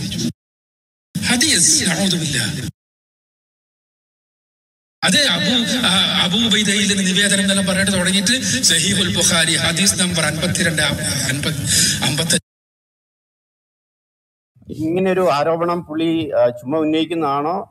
അതോ ചുമ്മാ ഇരവാദം പറയുന്നതാണോ എന്ന് അറിയാനിടായിരുന്നു പാസ്റ്റിനോടാണ് ചോദ്യം. പുള്ളിക്കാരൻ അക്സെപ്റ്റ് ചെയ്തുകൊണ്ടാണ് സംസാരിക്കുന്നത്. അതായത് ഇത് നടന്ന സംഭവമല്ലേ? അദ്ദേഹം ഒരു പിന്നെ പറഞ്ഞുള്ളൂ ആ തോട്ടത്തിലേക്ക് മുഹമ്മദ് എന്തിനു പോയി എന്നൊക്കെ പറയുന്നുണ്ട്. അദ്ദേഹം ഒരു സ്ത്രീയെ യോട് പറയുകയാണ് നീ നിന്നെ എനിക്ക് സമർപ്പിച്ചു കൊള്ളുക. അന്നേരം അവൾ പറയാണ് ഒരു രാജകുമാരി തന്നെ ഒരു യാചകന് സമർപ്പിക്കുക എന്നിട്ട് ആക്ഷേപിക്കുകയാണ്. നിന്നിൽ നിന്ന് ഞാൻ അള്ളാഹുവിൽ അഭയം തേടുന്നു. അപ്പോഴേക്കും മുഹമ്മദ് നയം മാറ്റി. കാരണം അങ്ങനെ മുഹമ്മദിന്റെ ലക്ഷ്യത്തിന് വഴങ്ങുന്ന ആളല്ലെന്ന് മനസ്സിലായി. അപ്പോൾ പറഞ്ഞു തീർച്ചയായിട്ടും നീ ആശ്രയിക്കേണ്ട ഇടത്താണ് ആശ്രയിച്ചത് വിട്ടേക്കാൻ പറഞ്ഞു. കാരണം അവൾ വഴങ്ങുന്നില്ല. സാധാരണ ഈ അബ്സല്യൂട്ട് പവർ കയ്യിലുള്ള ആളുകൾ സംസാരിച്ച് കഴിഞ്ഞാൽ സ്ത്രീകൾ വഴങ്ങിപ്പോവും. കാരണം അവർക്ക് വേറെ വഴിയില്ല. അപ്പോൾ അവിടെയാണ് ഈ സ്ത്രീയെ അവിടെ വെച്ച് പ്രാപിക്കാൻ ചെല്ലുന്നത്. എന്നിട്ട് അവളോട് ചെന്നിട്ട് നേരെ അങ്ങ് പറഞ്ഞേക്കുകയാണ് നീ നിന്നെ തന്നെ എനിക്ക് സമർപ്പിച്ചു കൊള്ളുക. അപ്പോഴാണ് അവൾ പറയുന്നത് അപ്പൊ ബോൾഡായ സ്ത്രീകൾ അന്നും ഉണ്ട്. ഇവളെ ഇവരെയൊക്കെ സ്ത്രീ വിമോചനത്തിന്റെ സ്ത്രീ ശാക്തീകരണത്തിന്റെ ഉത്തമ ഉദാഹരണങ്ങളായി കാണേണ്ടതാണ്. അത്ര സ്ത്രീകളാണ് പ്രശംസിക്കപ്പെടേണ്ടത്. അവളുടെ അടുത്ത് കളി നടന്നില്ല. അത്തരം താല്പര്യങ്ങൾ നടന്നില്ല. അവൾ പറഞ്ഞ വാക്കിന്റെ മൂർച്ച കണ്ടുകൊള്ളണം. ഒരു രാജകുമാരി ഒലീനത്തുള്ള ഞാൻ വന്ന് ഒരു യാചകൻ എന്നെ സമർപ്പിക്കുമോ പോയി പണി നോക്കാൻ പറഞ്ഞു എന്നിട്ട് ഞാൻ അള്ളാഹുവിൽ അഭയം തേടുന്നു. അപ്പോഴേക്ക് അദ്ദേഹം ഈ രീതി മാറ്റി. ഇപ്പോൾ അക്ബർ സാഹിബ് ഇവിടെ അഭിപ്രായപ്പെടുന്നത് ഇതൊക്കെ വായിച്ചിട്ട് ഇവരൊരു വ്യാഖ്യാനം പറഞ്ഞാൽ അത് വിശ്വസിച്ചോണം. ഇതാണ് കാര്യം. അല്ലാതെ അക്ബർ സാഹിബ് ഇതിനെ നിരാകരിക്കില്ല. എങ്ങനെ നിരാകരിക്കാനേ? ഇവിടെ ഒന്നും നിരാകരിക്കാൻ പറ്റില്ല. ഒന്നാമത് കേട്ടുകൊണ്ടിരിക്കുന്ന ആളുകൾ മനസ്സിലാക്കണം. ഞങ്ങൾ കൃത്യം നിങ്ങളുടെ ഹദീസ് നമ്പർ ഇട്ടാണ് പറയുന്നത്. നിങ്ങൾ പോയി സെർച്ച് ചെയ്താൽ മതി. ഈ ഹദീസ് ഞങ്ങൾ എഴുതിയതല്ല. അല്ലെങ്കിൽ ഞാൻ കൂടുതൽ ഹദീസിലേക്ക് പോകാറില്ല. ഈ അലങ്കാടനും അജീഷും അതുപോലെ ഇങ്ങനെയൊക്കെയുള്ള ആളുകൾ ഹദീസിൽ വലിയ സ്കോളേഴ്സാണ് ഹദീസിലേക്ക് പോകാത്തതിന്റെ കാര്യം ഖുറാനുള്ളിൽ തന്നെ തളയ്ക്കാൻ പറ്റും. ഖുറാൻ അത് തന്നെ കിടപ്പുണ്ട്. അപകടം. ഒത്തിരി അപകടം. അപ്പൊ പിന്നെ അത് തള്ളാൻ പറ്റത്തില്ലല്ലോ. ഹദീസ് എടുത്തുകൊണ്ട് വന്നാൽ പറയും ഇനി എന്നാണെങ്കിലും പറയും ഹദീസിന് ഇന്ന കുഴപ്പമുണ്ട്. ഹദീസ് ഇന്ന പോലാണ്. ഹദീസ് കൂടുതലങ്ങ് തള്ളിയേക്കാം. വിഷയം തീർന്നു. ഖുറാൻ തള്ളാൻ പറ്റിയല്ലോ. അവിടെ ഖുറാനിൽ സെൻട്രലൈസ് ചെയ്താണ് ഞാൻ കൂടുതൽ പഠിക്കുന്നത്. എന്നാലും ഈ പറയപ്പെട്ട കാര്യമൊന്നും ഒരുത്തനും തള്ളാൻ പറ്റില്ല. തള്ളു അക്ബർ സാഹിബ് ഇവിടെ തള്ളുന്നത് തള്ളുകയല്ല. മറിച്ച് അതിനെന്തോ വ്യാഖ്യാനം പുള്ളി പറയാമെന്നാണ് പറയുന്നത് ആ രൂപത്തിൽ സംസാരിക്കാം. മുഹമ്മദ് അങ്ങനെ ചെയ്യാൻ പാടുണ്ടോ? ചെയ്യാൻ പാടുണ്ടോ എന്ന് ചോദിച്ചാൽ പാടില്ലെന്നാണ്. പ്രവാചകൻ പോയിട്ട് ഒരു മനുഷ്യൻ ഇവിടെ താഴെ കേട്ടുകൊണ്ടിരിക്കുന്ന സുഹൃത്തുക്കൾ മനസ്സിലാക്കേണ്ടത് ഈ ഗാന്ധിജിയൊക്കെ ശിക്ഷിക്കപ്പെട്ടവരാണ്. അങ്ങനെയൊക്കെയുള്ള മഹാരഥന്മാരൊക്കെ ശിക്ഷിക്കപ്പെടുക എ കെ ജി ജയിലിൽ കിടന്നു. ഇങ്ങനെ ഒത്തിരി കാര്യമുണ്ട് പിണറായി വിജയൻ സാർ പോലും ജയിലിൽ കിടന്നിട്ടുള്ള ആളാണ്. ക്രൂരമായി പീഡിപ്പിക്കപ്പെട്ടിട്ടുള്ള ആളാണ്.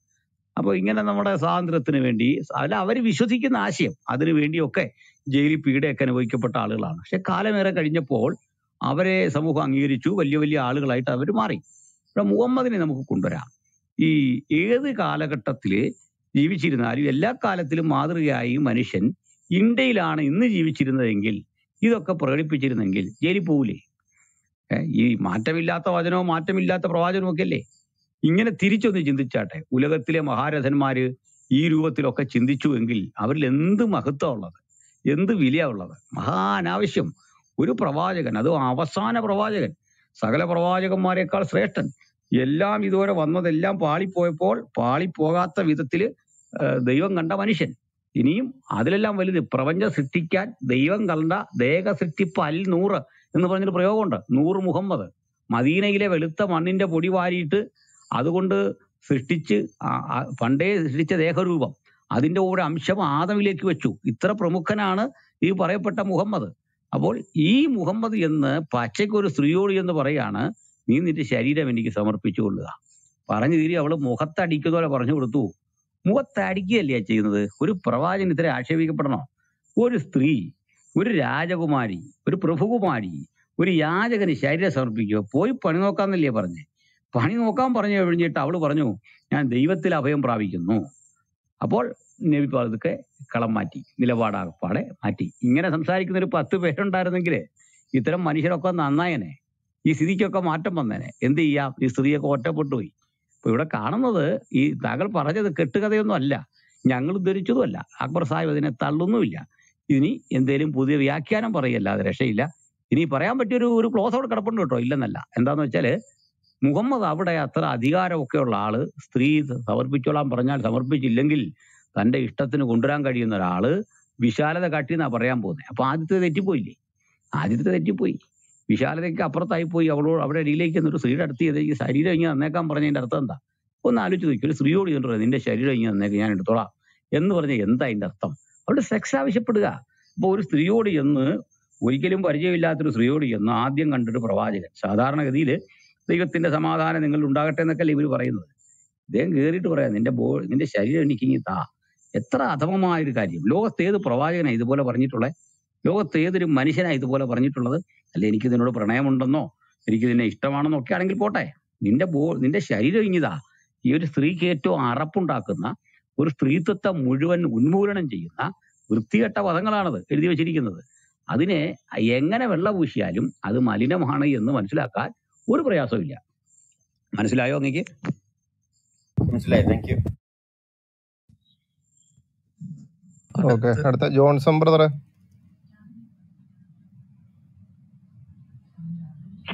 ജോൺസൺ. ആ കേൾക്കാം കേൾക്കാം. ഓക്കെ ഞാൻ എന്റെ ഒരു അനുഭവം പറയാം.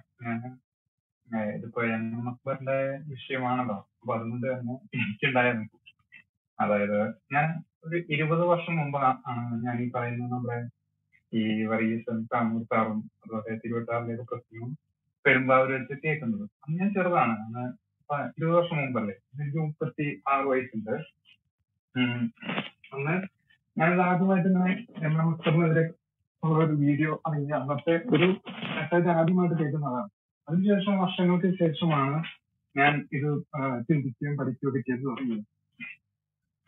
അപ്പോ എന്റെ നാട്ടിൽ ഒരു ആറു വർഷം മുമ്പ് ഒരു വാട്സാപ്പ് ഗ്രൂപ്പ് ഉണ്ടായിരുന്നു. ഒരു പ്രാദേശിക ഗ്രൂപ്പ്.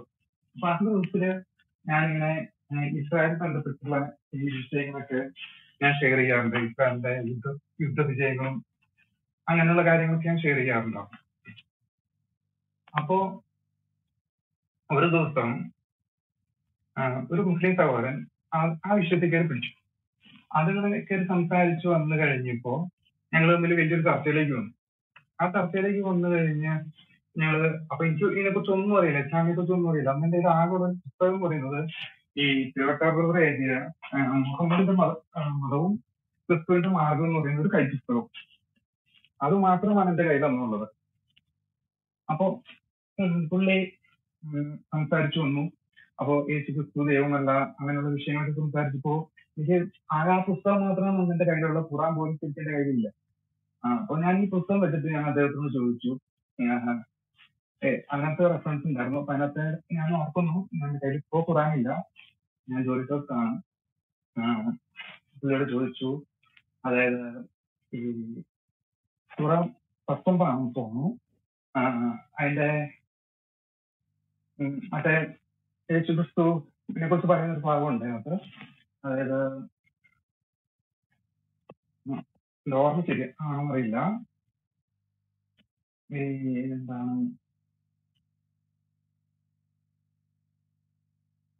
ജനിപ്പിച്ച ദിവസവും മരിച്ച ദിവസവും വിളിപ്പിക്കുന്ന ദിവസവും അനുഗ്രഹിക്കപ്പെടുന്ന ആയിട്ട്.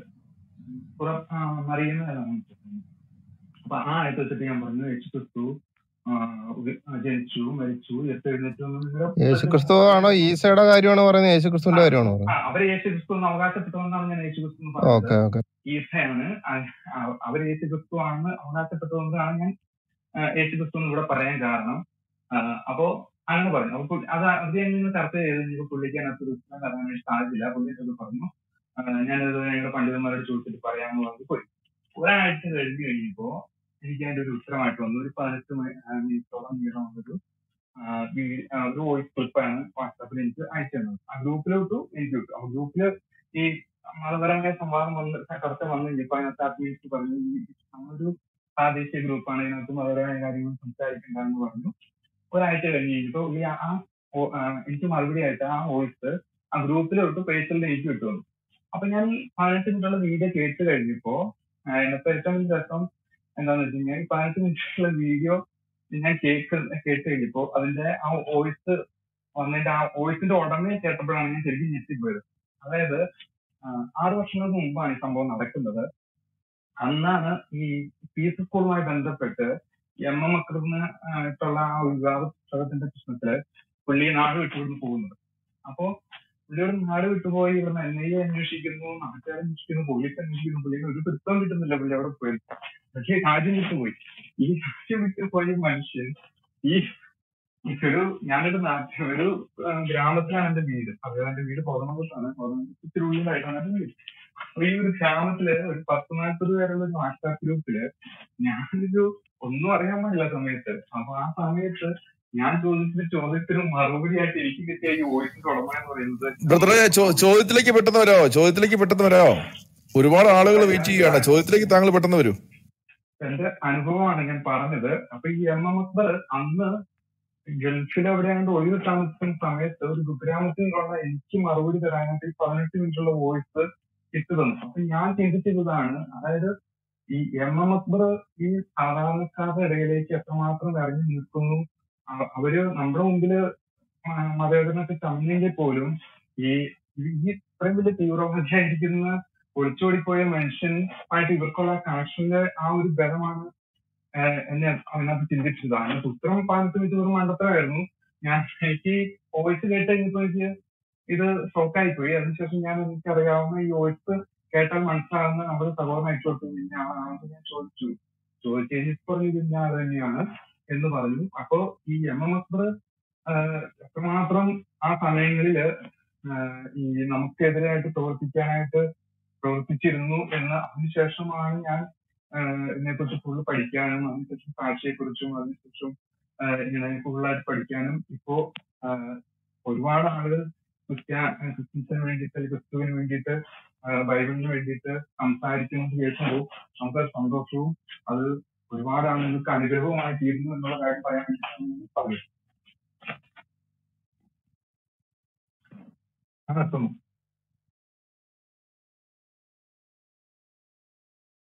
ഓക്കെ ജോൺസൺ അടുത്തത് ലിബിൻ സംസാരിച്ചോ? ലിബിൻ. ബിനു. ബിനു ബ്രദർ. സംസാരിച്ചോട്ടെ? പറഞ്ഞോളൂ ഇതിൽ ഞാൻ വീഡിയോ കേട്ട് കഴിഞ്ഞാൽ ഇതിൽ അവസാനം പറയുന്നത് എന്താ വെച്ചിട്ടുണ്ടെങ്കിൽ എം എം ബക്കൂർ പറയുന്ന കാര്യം എന്താന്ന് വെച്ചിട്ടുണ്ടെങ്കിൽ ഇനി മുതൽ മുഹമ്മദ് നബി ചെയ്ത കാര്യങ്ങളൊക്കെ ശരിയാണ് അതാണ് ശരി എന്ന് പറഞ്ഞ് പഠിപ്പിക്കണം എന്ന രീതിയിലാണ് പറഞ്ഞു വരുന്നത്. ഇത് സംഭവിക്കാൻ വേണ്ടി പോകുന്നത്. ഒരു കൊല്ലം മുമ്പ് ഒരു വീഡിയോ ഒരു സംഭവം ഉണ്ടായിട്ടുണ്ട്. അതായത് ഒരു തഹസീൽദാര് ഒരു ഒരു ഡെപ്യൂട്ടി തഹസീൽദാര് സ്വന്തം മകളെ പീഡിപ്പിച്ച ഒരു പോസ്കോ കേസ് ഉണ്ടായിട്ടുണ്ട്. ഇതായിരിക്കും അവരുടെ കുടുംബങ്ങളിൽ മുഴുവൻ നടക്കുക. അവസാനം അവ എം നാട്ടുകാരെല്ലാം കൂടി തരണ അവസ്ഥ വരും അവരെ മതക്കാർ തന്നെ തരണ അവസ്ഥ വരും എന്നുള്ളതാണ് എനിക്ക് പറയാനുള്ളത്. ആ വീഡിയോന്റെ ലിങ്ക് ഞാൻ എന്റെ ഇതിലിട്ടിട്ടുണ്ട് ഏഷ്യാനെറ്റിൽ ഏഷ്യാനെറ്റ് കൊടുത്ത വാർത്തയാണ്. എന്റെ ഡി പിയിൽ കിടപ്പുണ്ട് ആ വീഡിയോയുടെ ലിങ്ക്. അവരെ മതക്കാർ തന്നെ. അങ്ങനെ ഏറ്റവും കൂടുതൽ ക്രിസ്ത്യാനികൾക്കോ മറ്റ് അന്യമതസ്ഥർക്കോ അല്ല പ്രശ്നം. അവരുടെ ഉള്ളിൽ തന്നെ ആയിരിക്കും അവരുടെ സ്ത്രീകൾക്കും അവരുടെ മക്കൾക്കും കുറച്ച് കുറച്ച് മാനവികതയൊക്കെ ഉണ്ട് അവർക്ക് ഉള്ളിൽ. അവർക്ക് തന്നെയായിരിക്കും ഏറ്റവും കൂടുതൽ പ്രശ്നം ഉണ്ടാവുക. അപ്പൊ അവർക്ക് പ്രശ്നം ഉണ്ടായിരിക്കുമ്പോൾ ആരെയാണ് എതിർത്ത് പറയാ അവരിൽ അവർക്ക് തന്നെ പ്രശ്നം ഉണ്ടാവും. അവരുടെ ഉത്സാഹമാർക്ക് തന്നെ പ്രശ്നം ഉണ്ടാവും എന്ന് തന്നെയാണ് ഞാൻ വിശ്വസിക്കുന്നത്. Okay brother. സിമോൻ. സൈ ഹലോ. ഞാനൊരു ചോദ്യം ചോദിച്ചോട്ടെ? അജീഷ് ബ്രദറിനോട്. ഇതിന്റെ അകത്ത് ഐഷയ്ക്ക് അതായത് ഈ മുഹമ്മദിന്റെ സ്ത്രീകളോടുള്ള ഇത്തരത്തിലുള്ള ആസക്തിയെ കുറിച്ച് ഐഷയ്ക്ക് പരാതിയെ കുറിച്ച് പറയുന്നുണ്ട്. അദ്ദേഹത്തിന്റെ മറ്റ് ഭാര്യമാർക്ക് അത്തരത്തിൽ എന്തെങ്കിലും പരാതി ഉള്ളതായിട്ടോ എന്തെങ്കിലും ആയത്തുകൾ എന്തെങ്കിലും ഉണ്ടോ അജീഷ് ബ്രദർ? ഞാൻ അതിനെപ്പറ്റി ഞാൻ വായിച്ചിട്ടില്ല. ആയിഷ രണ്ട് ഹദീസുകൾ പറയുന്നുണ്ട്. ഒന്ന് തിരുമേനിക്ക് അത്തറും പെണ്ണിനോടുമാണ് താല്പര്യം എന്നുള്ള ഒരു വിഷയം പറയുന്നുണ്ട്. പിന്നീട് ഒരെണ്ണം പറയുന്നത് തിരുമേനിക്ക് സ്വന്തം ശരീരങ്ങളെ ദാനം ചെയ്യുന്ന സ്ത്രീകളെ ഓർത്ത് എനിക്ക് അഭിമാനരോഷം ഉണ്ടാകാറുണ്ടായിരുന്നു എന്ന് പറയുന്നുണ്ട്. ഈ രണ്ട് ഹദീസുകളുണ്ട്. ബാക്കിയുള്ളവർ അതിനെപ്പറ്റി എന്ത് അഭിപ്രായം പറഞ്ഞു എന്നുള്ളത് ബ്രദറെ ഞാൻ ശരിക്കും ശ്രദ്ധിച്ചിട്ടില്ല. അതിനെപ്പറ്റി ഒന്ന് നോക്കാം. നോക്കിയിട്ട് ഞാൻ വേണമെങ്കിൽ പിന്നീട് ബ്രദറിന് റെഫറൻസ് ഇട്ട് വരാം. ജെന്റിൽമാൻ ബ്രദറിന് എന്തെങ്കിലും അറിയാമെങ്കിൽ? ഇല്ല ഞാൻ സത്യം പറഞ്ഞ ചോദ്യം കേട്ടില്ല. പക്ഷെ ഇപ്പൊ പറഞ്ഞ അജീഷ് ബ്രദർ പറഞ്ഞ ഹദീസുമായിട്ട് ബന്ധപ്പെട്ടിട്ടാണെങ്കിൽ ഒരു ഒരു റെഫറൻസ് ഞാൻ തരാം. സുനാൻ സുനാൻ നസായി മുപ്പത്തിരണ്ട് പൂജ്യം അഞ്ച്. അതിങ്ങനെയാണ്. Aisha narrated it was narrated that Aisha said messenger of Allah did not die until Allah permitted him to marry whatever woman he wanted ഇത് സഹി ഹദീസാണ്. ഏതൊക്കെ പെണ്ണിനെ കല്യാണം കഴിക്കുമെന്ന് ആലോചിച്ചോ അവരെയൊക്കെ കല്യാണം കഴിപ്പിച്ചിട്ടല്ലാതെ പ്രവാചകൻ മരിപ്പി പ്രവാചകനെ അള്ളാഹു മരിപ്പിച്ചിട്ടില്ല എന്നാണ് ഈ ഹദീസ്.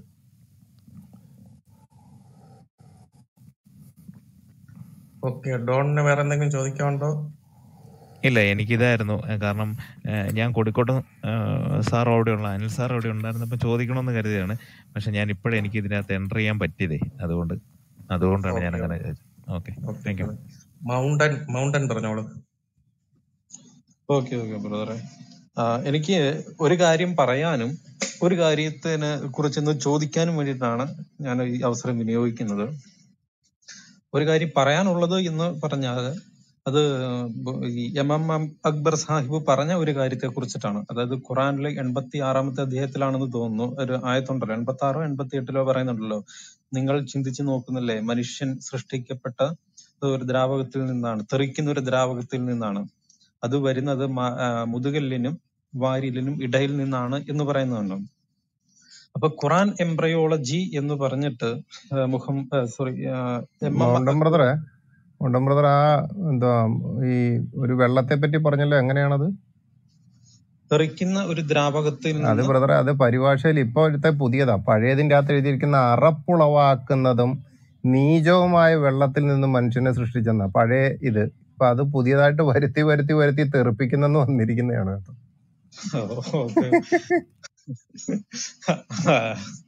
ഓക്കെ. പരിണാമം ആയിരിക്കും. എന്തായാലും അദ്ദേഹം ഇതേക്കുറിച്ച് ഒരു വിശദീകരിക്കുന്ന ഒരു വീഡിയോ ഞാൻ പണ്ട് കണ്ടിരുന്നു. അദ്ദേഹം ആ വീഡിയോയിൽ അദ്ദേഹം പറയുന്നത് ഇങ്ങനെയാണ്. അതായത് അത് സ്റ്റേജിൽ നിന്നിട്ട് അദ്ദേഹം പ്രസംഗിക്കുവാണ്.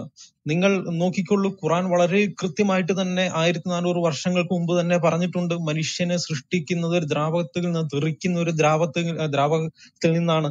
എഴുത്തും വായനയും ഒന്നും അറിയാത്ത ഒരു മനുഷ്യന് ഇവിടെ നിന്ന് കിട്ടി ഈ അറിവ് എന്നൊക്കെ പറഞ്ഞ് അത് മഹത്വമായിട്ട് വിശദീകരിച്ചിട്ട് അദ്ദേഹം പറയുന്നു നിങ്ങൾ ഇത് ഈ ദ്രാവക ഖുറാൻ ഈ പറയുന്നത് മനുഷ്യനെ സൃഷ്ടിക്കുന്ന ദ്രാവകം വരുന്നത് ആ, ആ, പറയ വരുന്നത് സെമൻ സെമിനൽ വെസിക്കിളിനെ കുറിച്ചിട്ടാണ് ഈ പറയുന്നത്. സെമനാണ് ഇത് പ്രൊഡ്യൂസ് ചെയ്യുന്ന എവിടെയാണ് സെമിനൽ വെസിക്കിൾ ആണ്. കറക്റ്റ് ആണ്. ശരിയാണ്. സെമിനൽ വെസിക്കിൾ ആണ്. എന്നിട്ട് അദ്ദേഹം പറയുന്ന അടുത്ത ഒരു പോയിന്റ് ഉണ്ട്. നിങ്ങൾ അനാട്ടമി എടുത്തിട്ട് അല്ലെങ്കിൽ നിങ്ങൾ ഗൂഗിളിലോ മറ്റോ സെർച്ച് ചെയ്ത് നോക്കിക്കോളൂ. ഈ സെമിനൽ വിസിക്കിൾ സ്ഥിതി ചെയ്യുന്നത് ഈ ഖുറാനിൽ പറഞ്ഞിരിക്കുന്ന സ്ഥലത്താണ് എന്നാണ് പറയുന്നത്.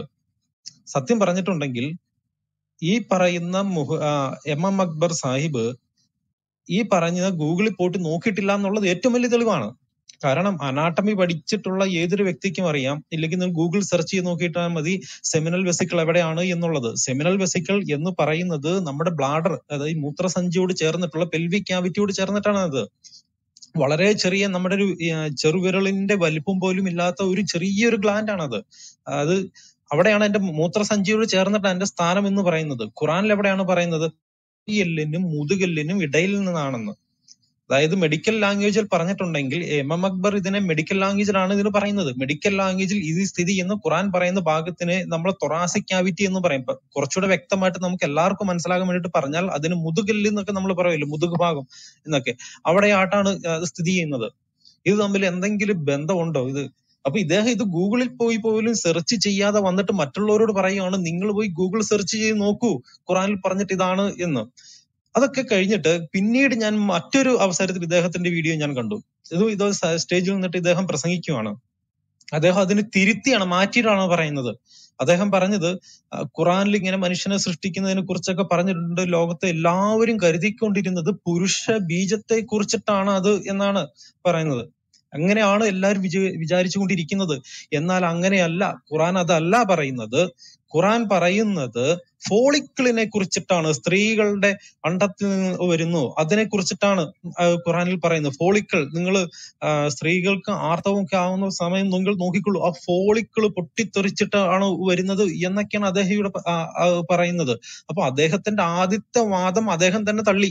അത് തെറ്റാണെന്ന് തെളിയിച്ചിട്ട് പുതിയൊരു വാദമായിട്ടാണ് അദ്ദേഹം വന്നത്. ഇനി പുതിയമായിട്ടുള്ള വാദം വന്നിട്ടുണ്ടെങ്കിൽ ശരിയാകണ്ടേ? ഫോളിക്കൾ എവിടെയാണ് സ്ഥിതി എന്ന് ഇദ്ദേഹം ഒന്ന് അറിയണ്ടേ? ഈ ഫോളിക്കൾ അതിന് ഖുറാനിൽ പറഞ്ഞ സ്ഥലത്തോ വല്ലതും ആണോ അതിന് സ്ഥിതി ചെയ്യുന്നത്? ഇദ്ദേഹത്തിന്റെ വാദപ്രകാരം അങ്ങനെയാണ് എന്നുണ്ടെങ്കിൽ അതൊരു മനുഷ്യനാണ്. Mountain bro. ഇപ്പൊ ഈ ആദത്തിന്റെ വാരിയിൽ നിന്ന് ഹവായ സൃഷ്ടിച്ചെന്നും ആദത്തിനെ മണ്ണ് കുഴച്ച് അതിൽ നിന്നും ഊതി ജനിപ്പിച്ചു എന്നൊക്കെ പറയുന്ന ആ വിഷയം ഉണ്ടല്ലോ അത് ഇപ്പൊ അതിനെ തള്ളിക്കളഞ്ഞുകൊണ്ട് സി എച്ച് മുസ്തഫ മൗലവി എന്ന് പറയുന്ന ഒരു മൗലവി ഇപ്പൊ പുതിയൊരു ഖുറാൻ പരിഭാഷ ഇറക്കിയിട്ടുണ്ട്. അതിന്റെ അകത്ത് പറയുന്നത് അന്ന് നിലവിലുണ്ടായിരുന്ന ജീവിവർഗത്തിൽ നിന്ന് ആദത്തിനെ തെരഞ്ഞെടുത്തു എന്നാണ് പറഞ്ഞിരിക്കുന്നത്. ഒന്ന്. രണ്ട്. ആദത്തിന്റെ വാരിയലിൽ നിന്നും ഹവ്വായെ സൃഷ്ടിച്ചു എന്ന് പറയുന്നത് അള്ളാഹുവിനോട് ചെയ്യുന്ന ഏറ്റവും വലിയ കെട്ടുകഥയാണെന്നാണ് പറഞ്ഞിരിക്കുന്നത്. അടുത്തത് പറഞ്ഞിരിക്കുന്നത് ഒരു മനുഷ്യനെ ഉറക്കിക്കെടുത്തിയിട്ട് അതിൽ നിന്ന് ഒരു സ്ത്രീയെ ഉണ്ടാക്കേണ്ട ഗതികേട് അള്ളാഹുവിന് ഉണ്ടായിട്ടില്ല. അങ്ങനെ പറയുന്ന മൊത്തം മുഴുവൻ ശിർക്കാണെന്നാണ് പറഞ്ഞിരിക്കുന്നത്. അതിപ്പോ ഓരോ വർഷങ്ങൾ കഴിയും തോറും പുതിയ പുതിയ ഭാഷ വക്താക്കൾ വന്നത് അപ്പൊ സി എച്ച് മുസഫ് ഈ ഖുറാന്റെ പരിഭാഷ രണ്ട് അധ്യായം ഉള്ളു അൽബക്രയും രണ്ടാമത്തെ അധ്യായം പശുവും മാത്രമേ ഉള്ളൂ. അതിപ്പോ ഈ പുസ്തകത്തിന് മാനവികതയുടെ ഖുറാൻ എന്നാണ് കൊടുത്തിരിക്കുന്നത്. അതിന് പാണക്കാട് ഷിഹാവതങ്ങളുടെ മകൻ മുന്നർവലി തങ്ങളാണ് അതിന് ആമുഖം എഴുതിയിരിക്കുന്നത്.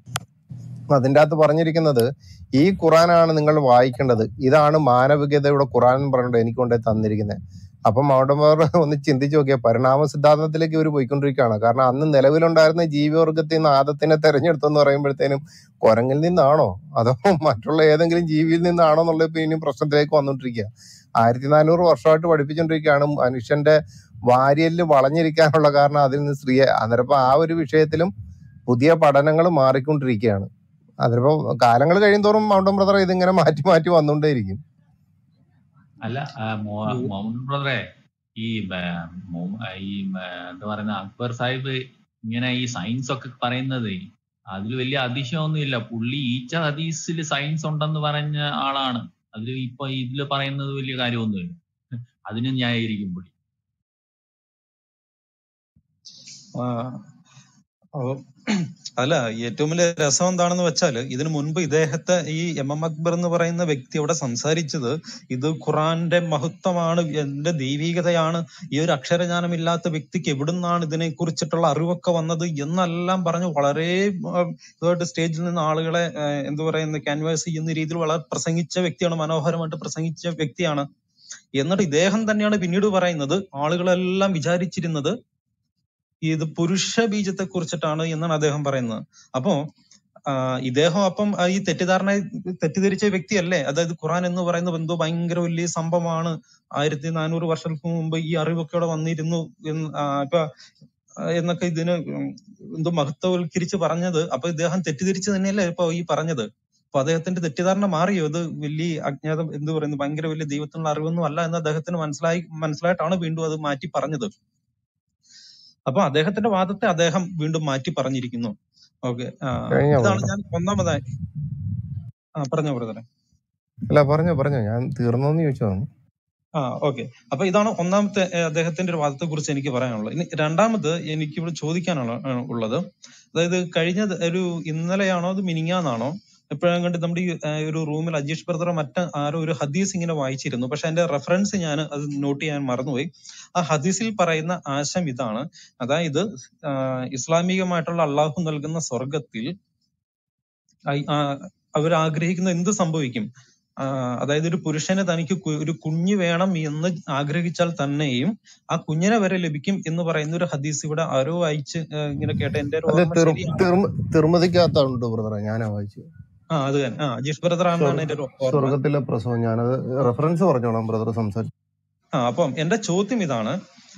അപ്പം ഈ സ്വർഗം എന്ന് പറഞ്ഞിട്ടുണ്ടെങ്കിൽ ഭൂമിയിലെ പോലെ തന്നെ അവിടെ ചെന്നിട്ട് വീണ്ടും മനുഷ്യൻ അവിടെ പ്രസവിക്കുന്നു റഫറൻസ് ഇതാണ്. സുനനു തിർമതി അധ്യായം മുപ്പത്തി ആറ് ഹദീസ് നമ്പർ രണ്ടായിരത്തി അഞ്ഞൂറ്റി അറുപത്തി ആറ് പേജ് അറുന്നൂറ്റി പതിനാല്.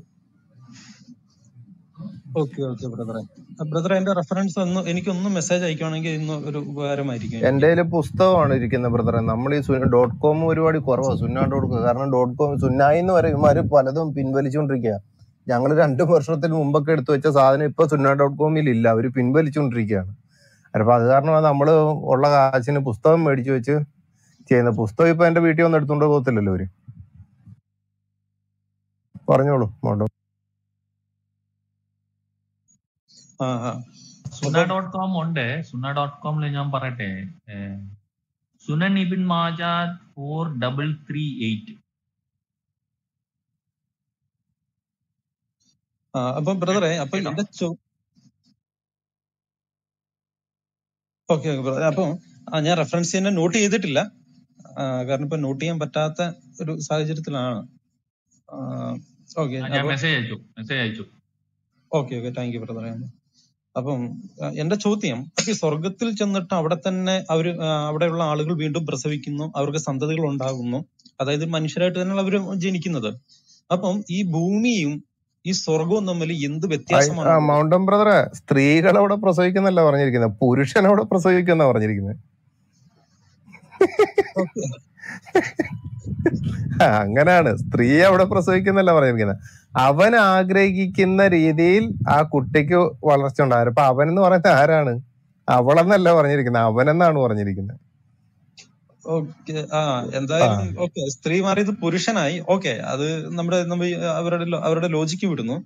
അത് പുരുഷ- പുരുഷനുള്ള പ്രസവത്തെ കുറിച്ച് ഓക്കെ. എന്നിരുന്നാൽ തന്നെയും എന്താ ചെയ്യുന്നത് ഇപ്പൊ പുരുഷൻ പ്രസവിച്ചാൽ തന്നെയും ഭൂമിയിലൂടെ സ്ത്രീകൾ പ്രസവിക്കുന്നു അവിടെ പുരുഷൻ പ്രസവിക്കുന്നു എന്ന് എന്ന് തന്നെ കരുതിക്കുള്ളൂ എന്നിരുന്നാൽ തന്നെയും ഈ ഭൂ പാപികളായിട്ടുള്ള മനുഷ്യരെല്ലാം ജീവിക്കുന്ന അങ്ങനെ